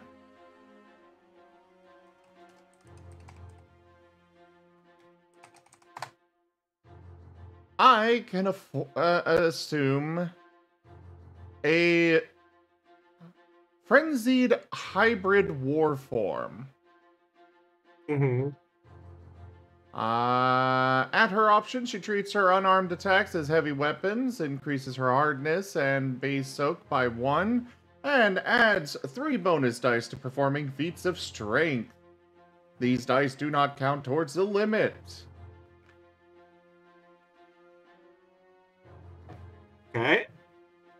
So, going to take that up. So you get to roll to try to break through the uh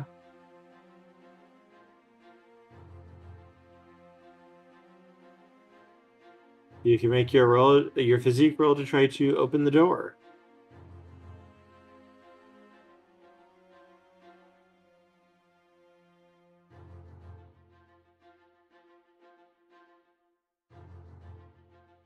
Nevis is mostly just walking up, uh, and, and knocking on it very hard, calling out, uh,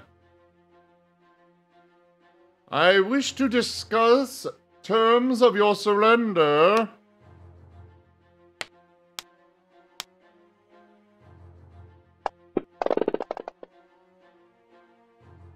Oh, God. Complication. Nevis, I have a question for you. Yes. Would you like help? Sure.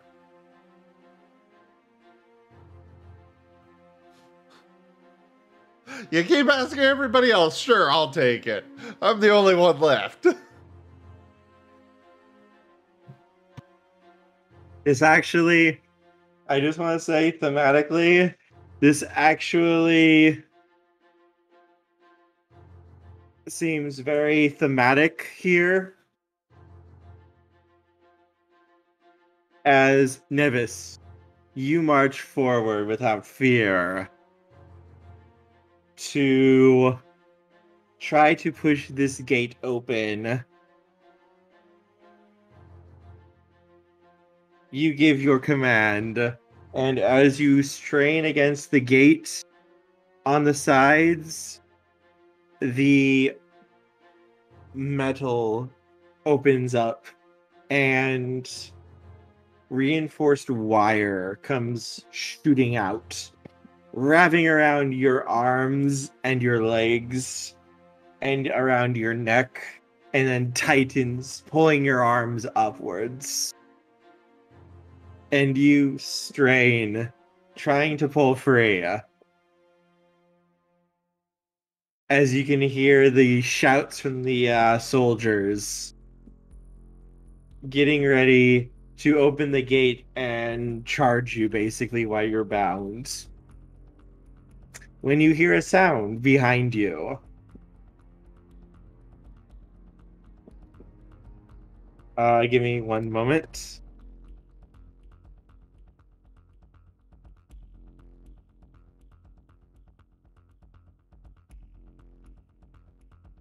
I feel a certain character is going to make an appearance.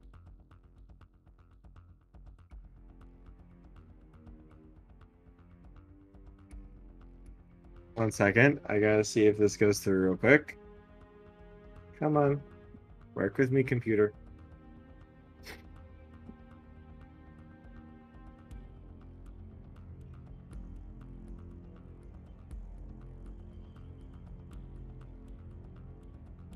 Tokeme is dancing with the crabs. But for longer.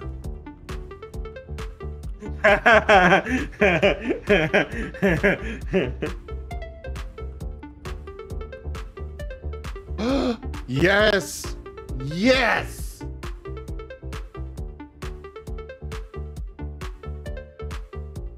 King of Conquerors needs assistance. Forward, my brethren! As you see, maybe three dozen crabs marching forward, being led by the one, the only Krabiris. And I as you he- strain, I, try- I, I thought he rode on Nevis's shoulder.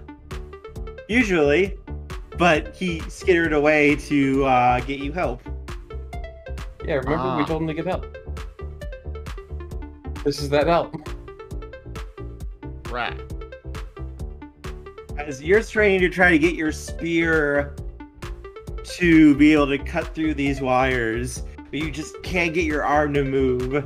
As one of the crabs crawls up your leg, up your shoulder, and you see its little claw glow with essence for a moment before it snips the cable. Right as the gate swings open, and you bring your spear around in a sweeping gesture and just sever all of the wires with one big slice. And as the gate opens, these mortal soldiers are expecting you to be trapped, to be helpless. And there you are, standing in all of your glory, spear out and ready. And suddenly, all of them look like they regret their life choices as they stare at you. They've been having a very I bad night. I am Nevis, King of Conquerors, and you will surrender or die. Don't forget the commander of crabs. Well, no, that's uh, Krabirius. But you do have a point. I should start adding more titles. Tiberius no. is the god of crabs. You are the commander of crabs. New title unlocked.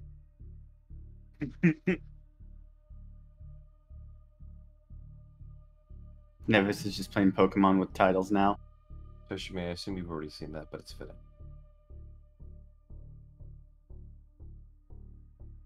Okay, let's see.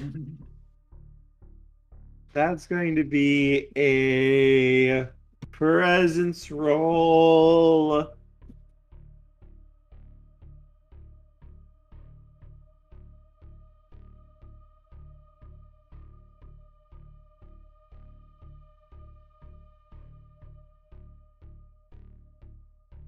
This is something Nevis is very good at.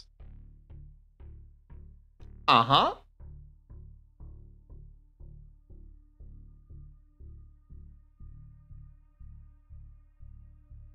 I'm just trying to remember all of the bonuses that I get on it.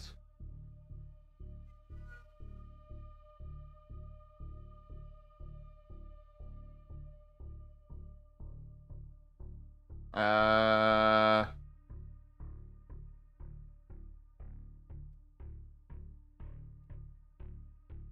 Okay, so I double nines. Add bonus dice equal to my essence. What is this? Three bonus dice? I forget. Let's see here. Okay, maybe uh, looking up only dread does not help me figure out the the, the uh. I, I might need a little bit more of that.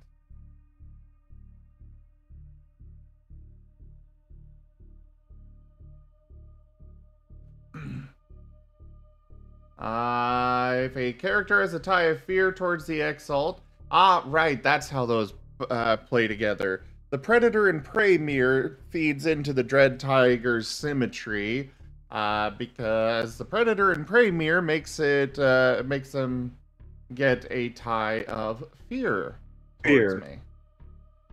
You're spooky. They see me as a predator. You go num num on them.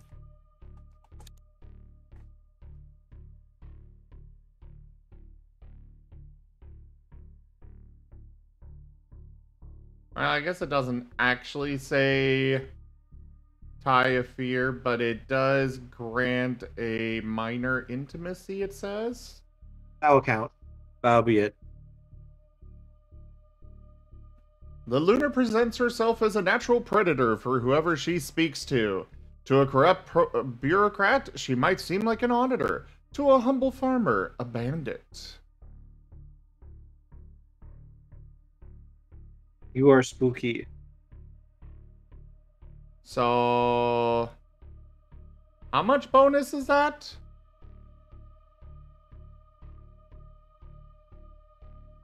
Uh, for a minor, it's a uh, plus one, plus three if it's a major. Okay. What is this three bonus dice?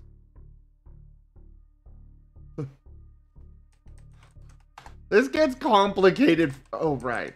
Uh, looking up Dread does not work. There are a lot of. Uh, Dread appears in this book a lot. Uh. It's almost like you guys can be dreadful sometimes. That's how that's how the exalted can be to normal people.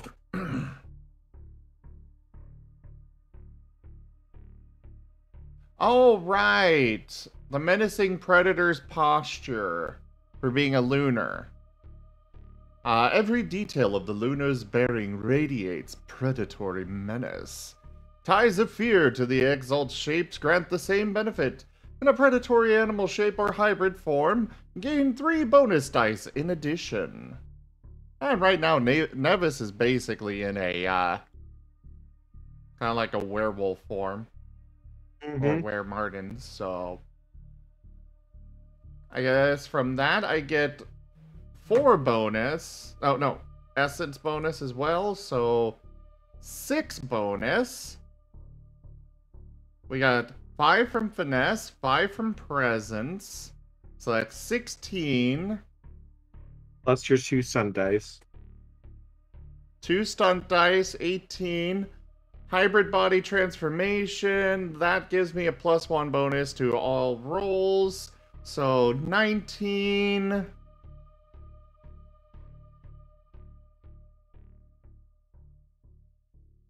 I think that's all I got. Do you have an excellency? Yeah, but not for this. You need a presence excellency next. I know, it's on the list. You're not rolling enough dice, mister.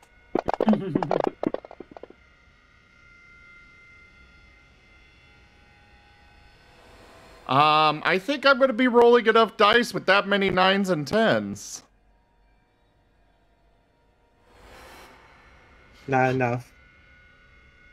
Let's see. One, two, three, four, five, six, seven, eight more dice.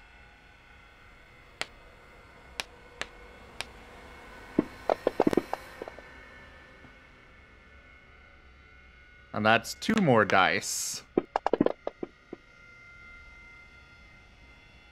They see me rolling the dice. Y'all. All right, so one, two. Those cancel out. Three, four, five, six, seven, eight, nine, 10, 11, 12, 13, 14, 15, 16, 17, 18, 19, 20, 21, 22 successes. Duke. And he is, of course, shouting this to as many as can possibly hear in this fortress. God damn.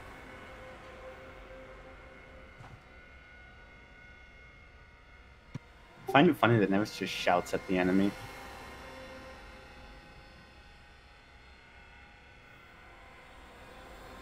Hey, it works. I mean, it does. Yeah. Instead of killing them, he recruits them. And thus he gets stronger.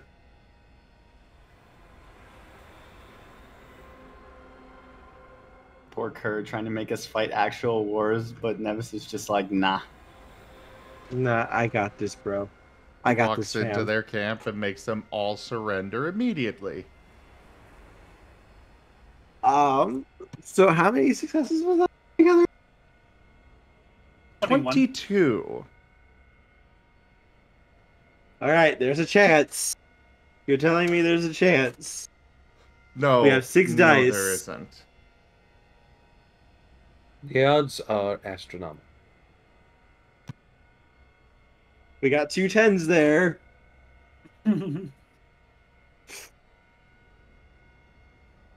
Imagine Kerr just starts rolling successive tens. Nope. nope. They, they they tried. They tried. Um. Surrender So- now, and you will be shown mercy. We will determine your faults and your crimes, and you will be punished. Those faultless will be recruited or offered amnesty. But this is your only opportunity. All right. So we're gonna use this as their defense roll versus yours. These guys have five health levels, so. They have five health levels. Mm-hmm. I have 18 successes on top of them. 17. Mm-hmm. Yep, but uh, the way battle groups work is you have their magnitude. So mag- these this this would be a magnitude five force three times. You have like basically three magnitude five armies here. Uh, actually more than that. Sorry. Oh, Um, now they're but- Nevis's armies. But but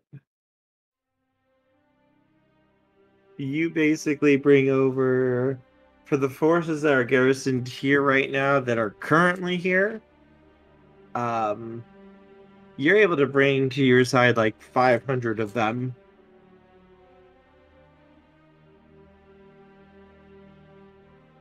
That does not sound they- like nearly enough to be deserving of what I've pulled off.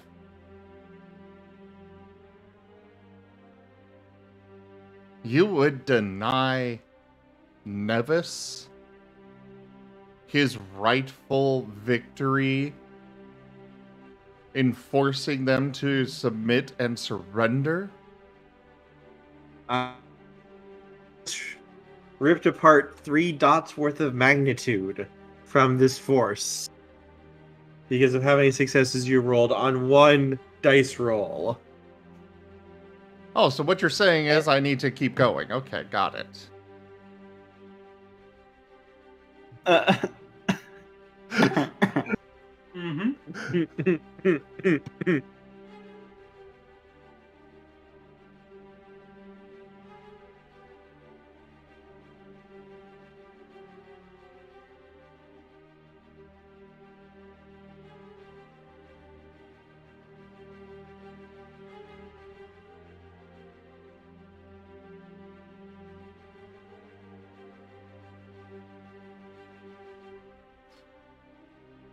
Actually, I don't think I have the motes for that. All of those do take up quite a few motes.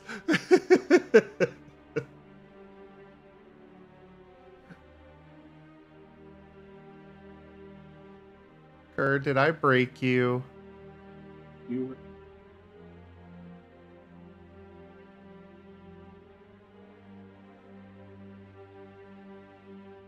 I think I broke her.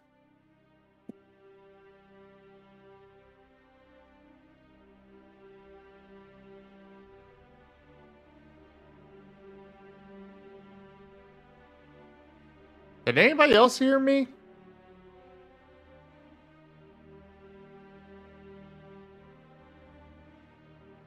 Yeah. Oh.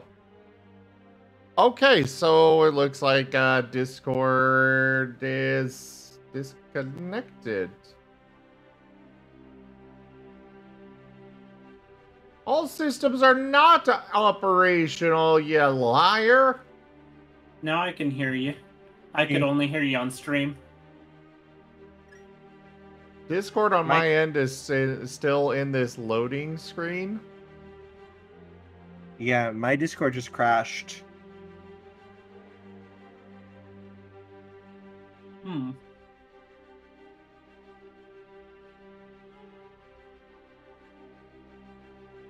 Sorry, my internet just died, but it's back now. Uh, I no. actually, Sark, it was uh, Discord itself.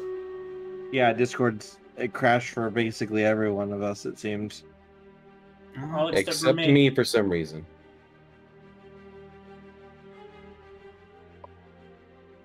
Yeah, I was giving such a good little thing, and then it just like apparently none of it went through. Get Yeah, I struck, DM. We, we did not hear any of it. I had asked if you were broken. And then, that's what I- well, apparently Discord thought I was talking to it. Yeah, no, that's why I was like, wait, am I broken? Wait, can you guys not hear me? I, I, I guess the wench thought that was her tip. What was the last thing you heard? Nothing because you, uh, uh, you, you basically it was. About the battle group. Oh yeah, Oh Right. God! All so Nevis, yeah, as about five hundred of them basically throw down their weapons and run over to you, shouting, "We surrender! We surrender!" And you can hear yells of "traitors!" and "You'll pay for this." Um. Uh, you can see many, many, many more soldiers are starting to show up from the inside of the fortress. And you realize now might be a good time to go.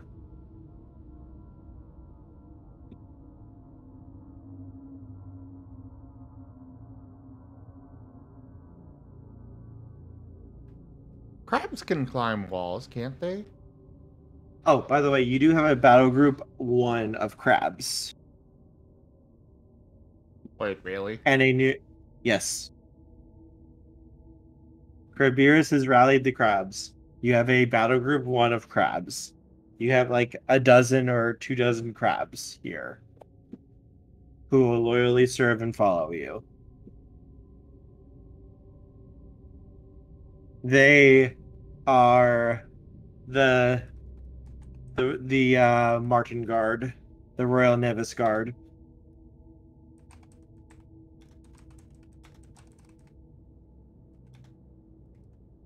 So a one dot Excuse me? Excuse me, sir? army of. Did you literally just make a unit called the RNG?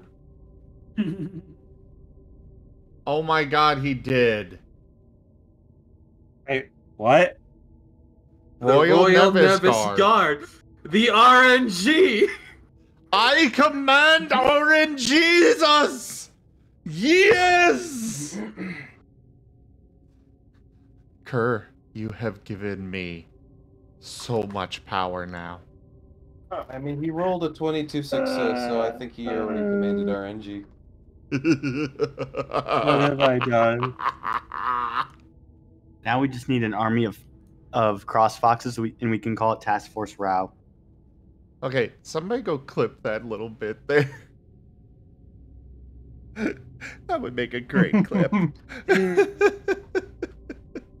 I regret my life choices.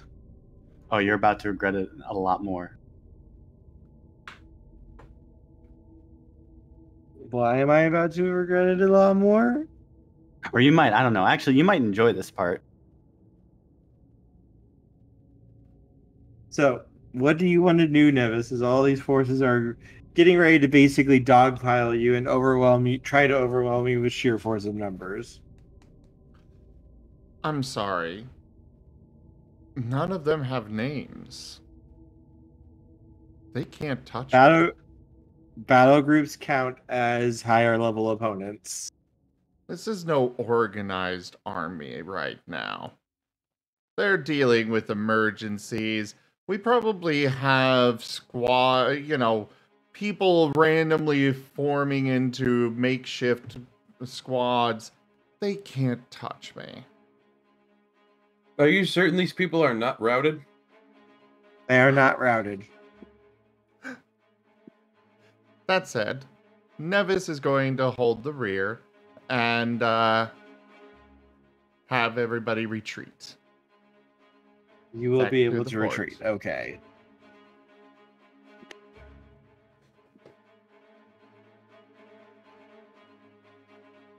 And I think the last thing we will do for tonight, because the next section of this will take a bit because of how it can be a little bit tedious and complicated the first time.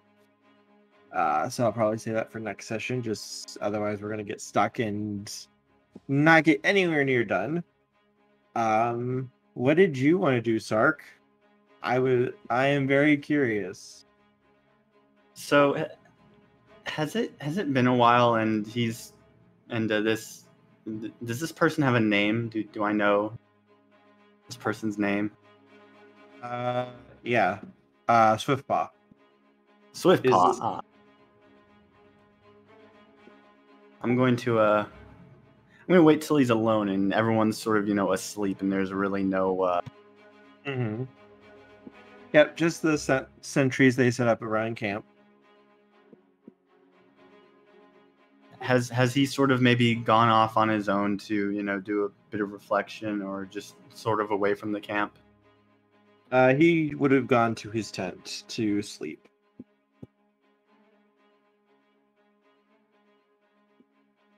So a- as so what I'm going to do is um, the sentries near his tent.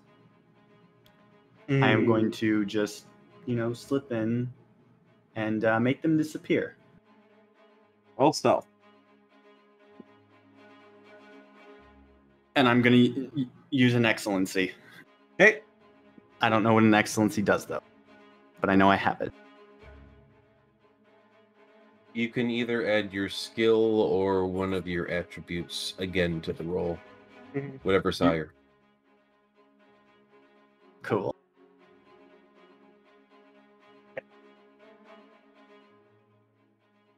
Or one or the other, by the way. So, like, if you have like five fortitude and you're rolling with fortitude, you can add an additional five. Yep. Or if you're, or if you have five in a skill and no fives in any of your attributes, then you could just use that skill instead.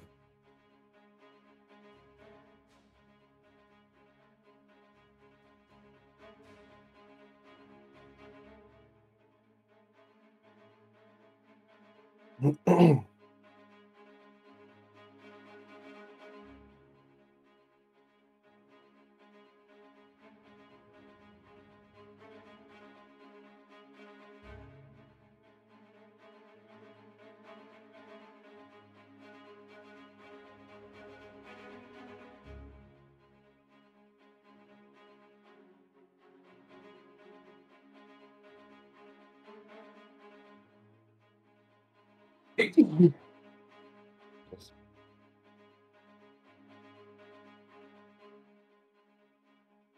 And then after I do that, I'm going to uh, just basically go into his tent and uh, I guess start to speak to him.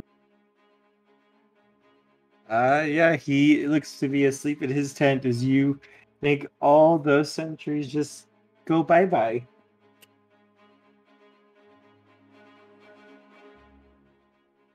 Do you wake him up or are you just saying this? No, I'm I'm going to go into his tent. Um,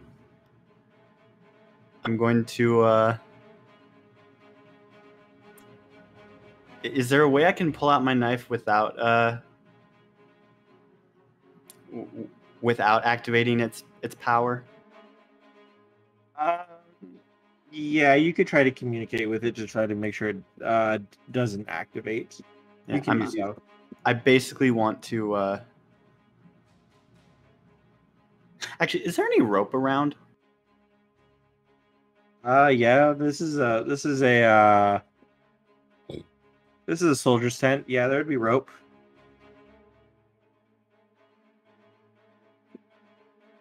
You know, let's just have the dice decide what's going to happen. They chose poorly. I'm going to forego all of that, and I'm just going to uh, simply say, been a while. How loudly do you say this? Because he's asleep. Enough to wake him up.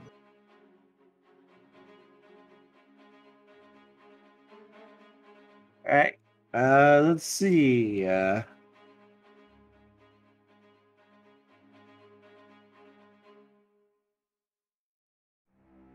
and that's a botch. Hey, look, he doesn't wake up. As he wake up, wakes up, and his body basically freezes up as he sees you, and he just kind of sputters a little bit, mouth opening and closing, but no sound coming out, as he looks just like utterly and totally shocked by this turn of events, almost like he must be having a nightmare. Oh, it's much worse than a nightmare. as it is your go to do what you wish right now, as he's just kind of stunned senseless for this. And his name is not Soft Paw, but Light Paw? Mm, With paw. Swift Paw. And look at him and say, What's wrong? And say, Wait, mm. What's wrong, Swift Paw? Look like you seen a ghost or something. You, you, you, you, you, you can't be here.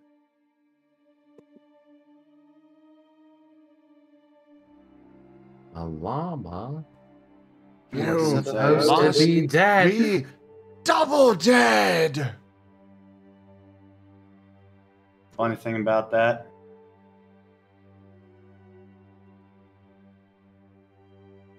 I'm, I'm gonna look him and say, you know, the funny thing about ghosts is they always tend to come back and haunt to haunt you. I'm going to take a cigarette that I stole, or not a cigarette, but a some sort of cigar that I stole, and uh, essentially light it in his tent and take a hit from. And then I'm gonna look him and say, you know, probably thought uh, probably thought you were all clever, taking me out like that. Quite frankly, I thought it was done for. This, this, this- this can't be happening. You, you can't be here. It was at this moment that Sark could see the terror in Swiftpaw's eyes. A small puddle of wetness radiating out from his crotch as he cowered there in the tent, the darkness seeming to close in around him. As Sark just quietly, slowly drew in on his cigar. Hmm. You're looking a little moist there. Oh God! Why? I'm, I'm also looking at him and It's say, so nice that you got him all moist. "Oh God, poor Kerr." I'm Stark's gonna look at him and say, "Hear about that camp? That camp of rabbits? Heard someone snuck in and burned down their food supply. Mm-hmm. It's a real shame. Gotta, gotta wonder who would do something like that. Someone, someone who had who would have the audacity to not just kill their opponent, but make them suffer. Really put the fear in their eyes. What do you want?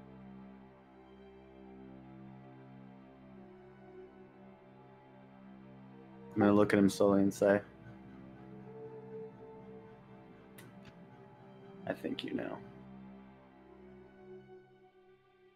It wasn't anything personal. It was just business. Of course it is.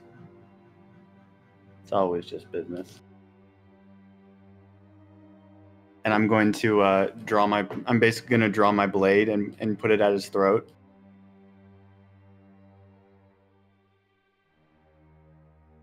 Please, please don't hurt me. I'm going to look at him and say, You and I are going to say, You and I are going to take a little walk. He'll nod his head slowly.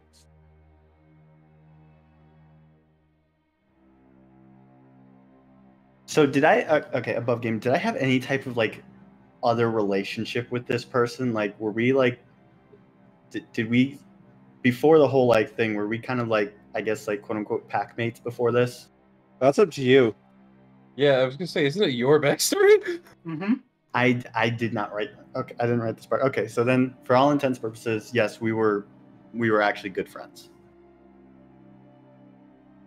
Okay. So I'm going to take him out of the uh, out of the tent, and uh, we're we're gonna go, you know, walk into uh, to an area where there's sort of water, you know, away from the camp, Mm-hmm. And I'm going to uh, make sure to grab another two cigars. Okay. We're we're gonna we're gonna get to a clearing uh, while I have the uh, basically the knife at his throat, ready to uh, end him. Once we get to a small clearing, I'm gonna say, I'm gonna look at him and say, "All right, it's far enough," and I'm going to essentially uh, throw him on the ground. Mm-hmm. Yeah, he just kind of falls over like a uh, sack of wet potatoes. He seems absolutely terrified.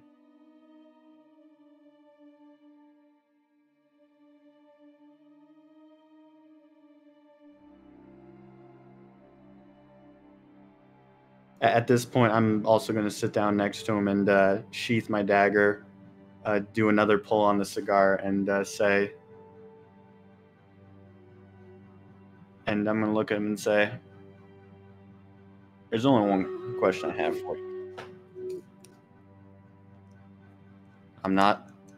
I'm not going to ask who you did it for, although, depending on the conversation ends, a lot of different things could happen.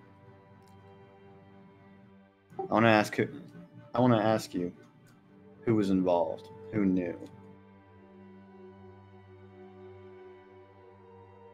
It's old Shadowheart's idea. He was the leader. He said he was going to kill us if we didn't go along with it. Also, one of the other members of your little group before it went south. He was always the most ambitious one.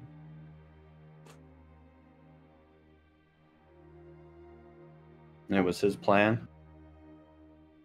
He threatened to kill anyone who didn't agree with him right then and there.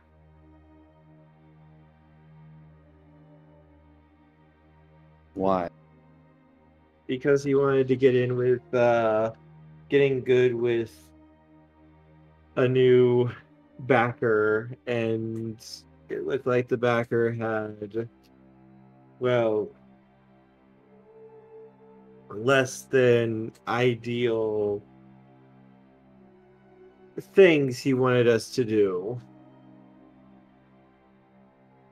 Things that you probably wouldn't have approved of. So Shadowheart decided you needed to go. Who was this backer? Um, who- uh, Mahasuchi. We found out when we joined the army, or we were forced to join. It was either that or bad things.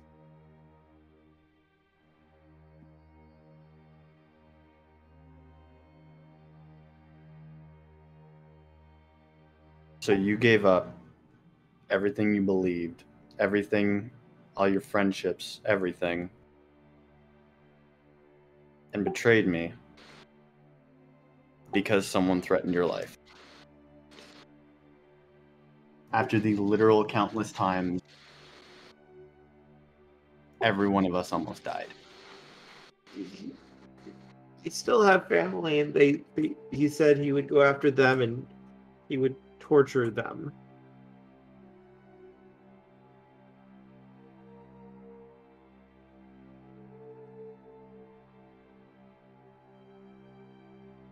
I, I couldn't do that. I'm sorry. Even now, it's still something he brings up. If I don't do my job right, then he can't guarantee their safety.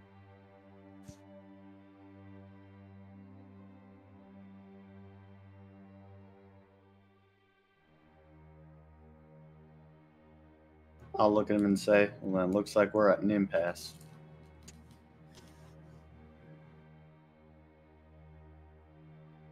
I'm gonna look at him and say, I'm look at him and say, there's another one in the camp. The uh, the other the other barbarian camp. There's another one who apparently had something to do with it. Mm-hmm. Bright he he didn't know. I swear, he didn't know. Shadow Shadowheart got to him and lied to him that you betrayed the group and were stealing stuff from us. And you know he's not necessarily the smartest. He bought it hook, line, and sinker. So he joined up. What about you? I want just wanted to protect my family. That's it. That's why I that's why I joined. That's why I worked with you. And that's why I didn't have as much choice. I can't fight him. I know I'm not strong enough. And if I do, then he's going to do horrible things to my family.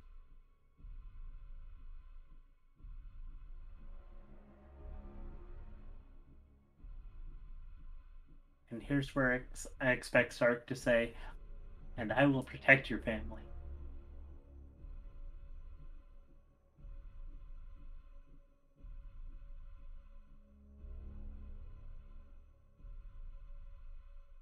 I'm gonna look at him and say and say, well, technically as an assassin, your only job was to kill me, which you did. Technically, which means the contract would have been completed.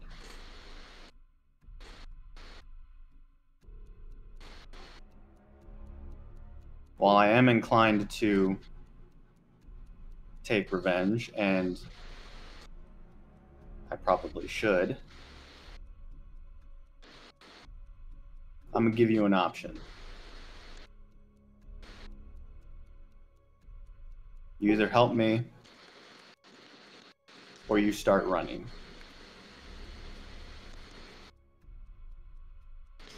If you can promise to protect my family, I'll do whatever you say.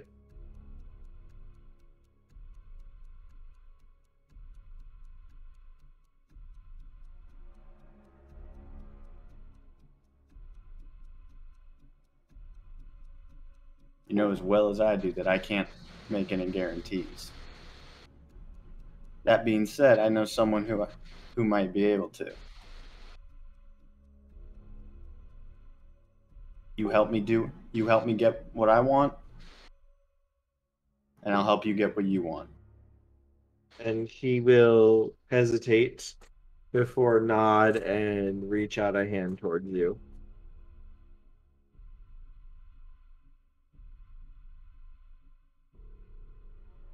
I will extend my hand to him, uh, grab his hand, and basically yank him very close in the back of his ear, and then say, Try any shit. And Mahasuchi isn't going to be the one you're going to have to worry about. And then Swift, Paw, Swift Paw felt the cold embrace of death as Sark's dagger plunged between his ribs. And I will last and I will caveat with and I will also caveat with that with that say you know what I'm capable of and what I'm willing to do.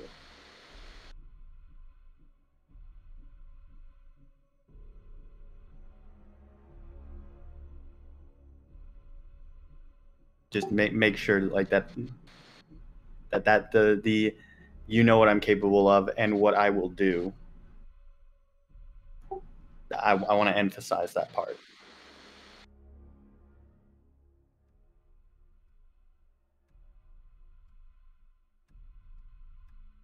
and with and then with that i will uh take him back to i will uh, take him back to uh the essentially our city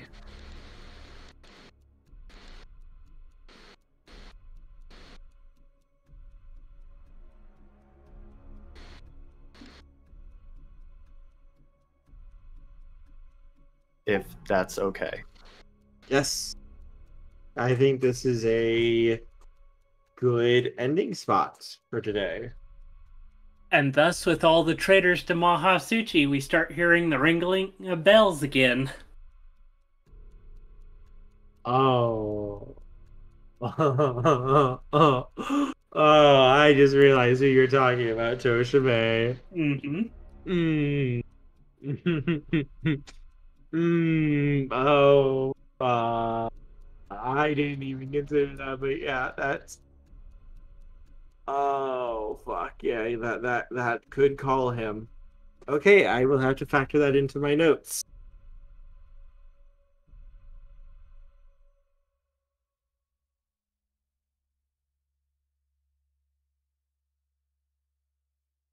There. Okay, so for those of you who don't know, there is a third circle demon um who is basically in charge of making sure a certain never or Yozi never wakes up. Because if the Yozi ever wakes up, uh basically all of free will gets ripped away and erased. So his job is to make sure that this Yozi stays asleep. The way the reason the way he does this though is by hunting down people who betray or are traitors or create traitors because traitors and betrayers are one of the things that start waking this guy up.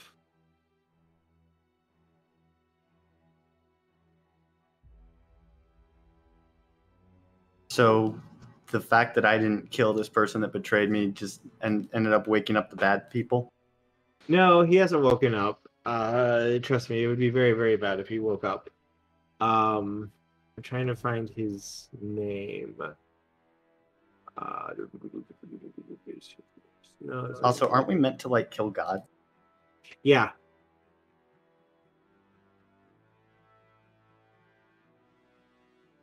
You're you're not ready for that though. Not quite yet. Almost. We're working on it. ah so this is super god this is like a super god got it Uh, Sacheverell. That was the name of the uh the Yozi. Mm-hmm. I just had to find his name again. I'm trying to find his soul.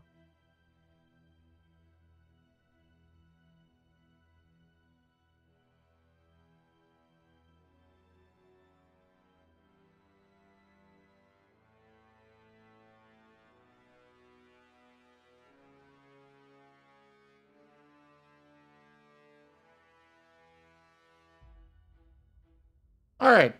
So, shall we end? Yes. Great. Now on to Exalted Session 2 for tonight. Another four hours, baby. Mm, nope, I ain't making that far. Da da da da da da da da da da da da da da da da da Okay, okay. I will accept six hours. Uh, I'm not sure that's how that's how that works, but okay. Uh, none of you leave yet, please. After Okay, we're finished. All right, everybody. Thank you for joining us for Ebon Sails Exalted. Check out our website, zgfgaming.com. We've got links for our Discord, Telegram, Twitter, Patreon, and more. There on the website, as well as down in the description below through our link tree. Thank you to my patrons, donators, and subscribers. It is because of your support that I'm able to continue bringing, bringing these streams to you all. I really cannot do this without your guys' help and support, so thank you. Consider becoming a patron over at patreon.com slash zgfgaming. It is one of the best ways to support the channel, though you can also do so by uh, grabbing some packs over at uh, Streamloots, or by simply sharing the stream around. Again, everyone, thank you so very much for joining, though, and I bid you the most fondest adieu. Bye, guys. Bye. Bye. Row.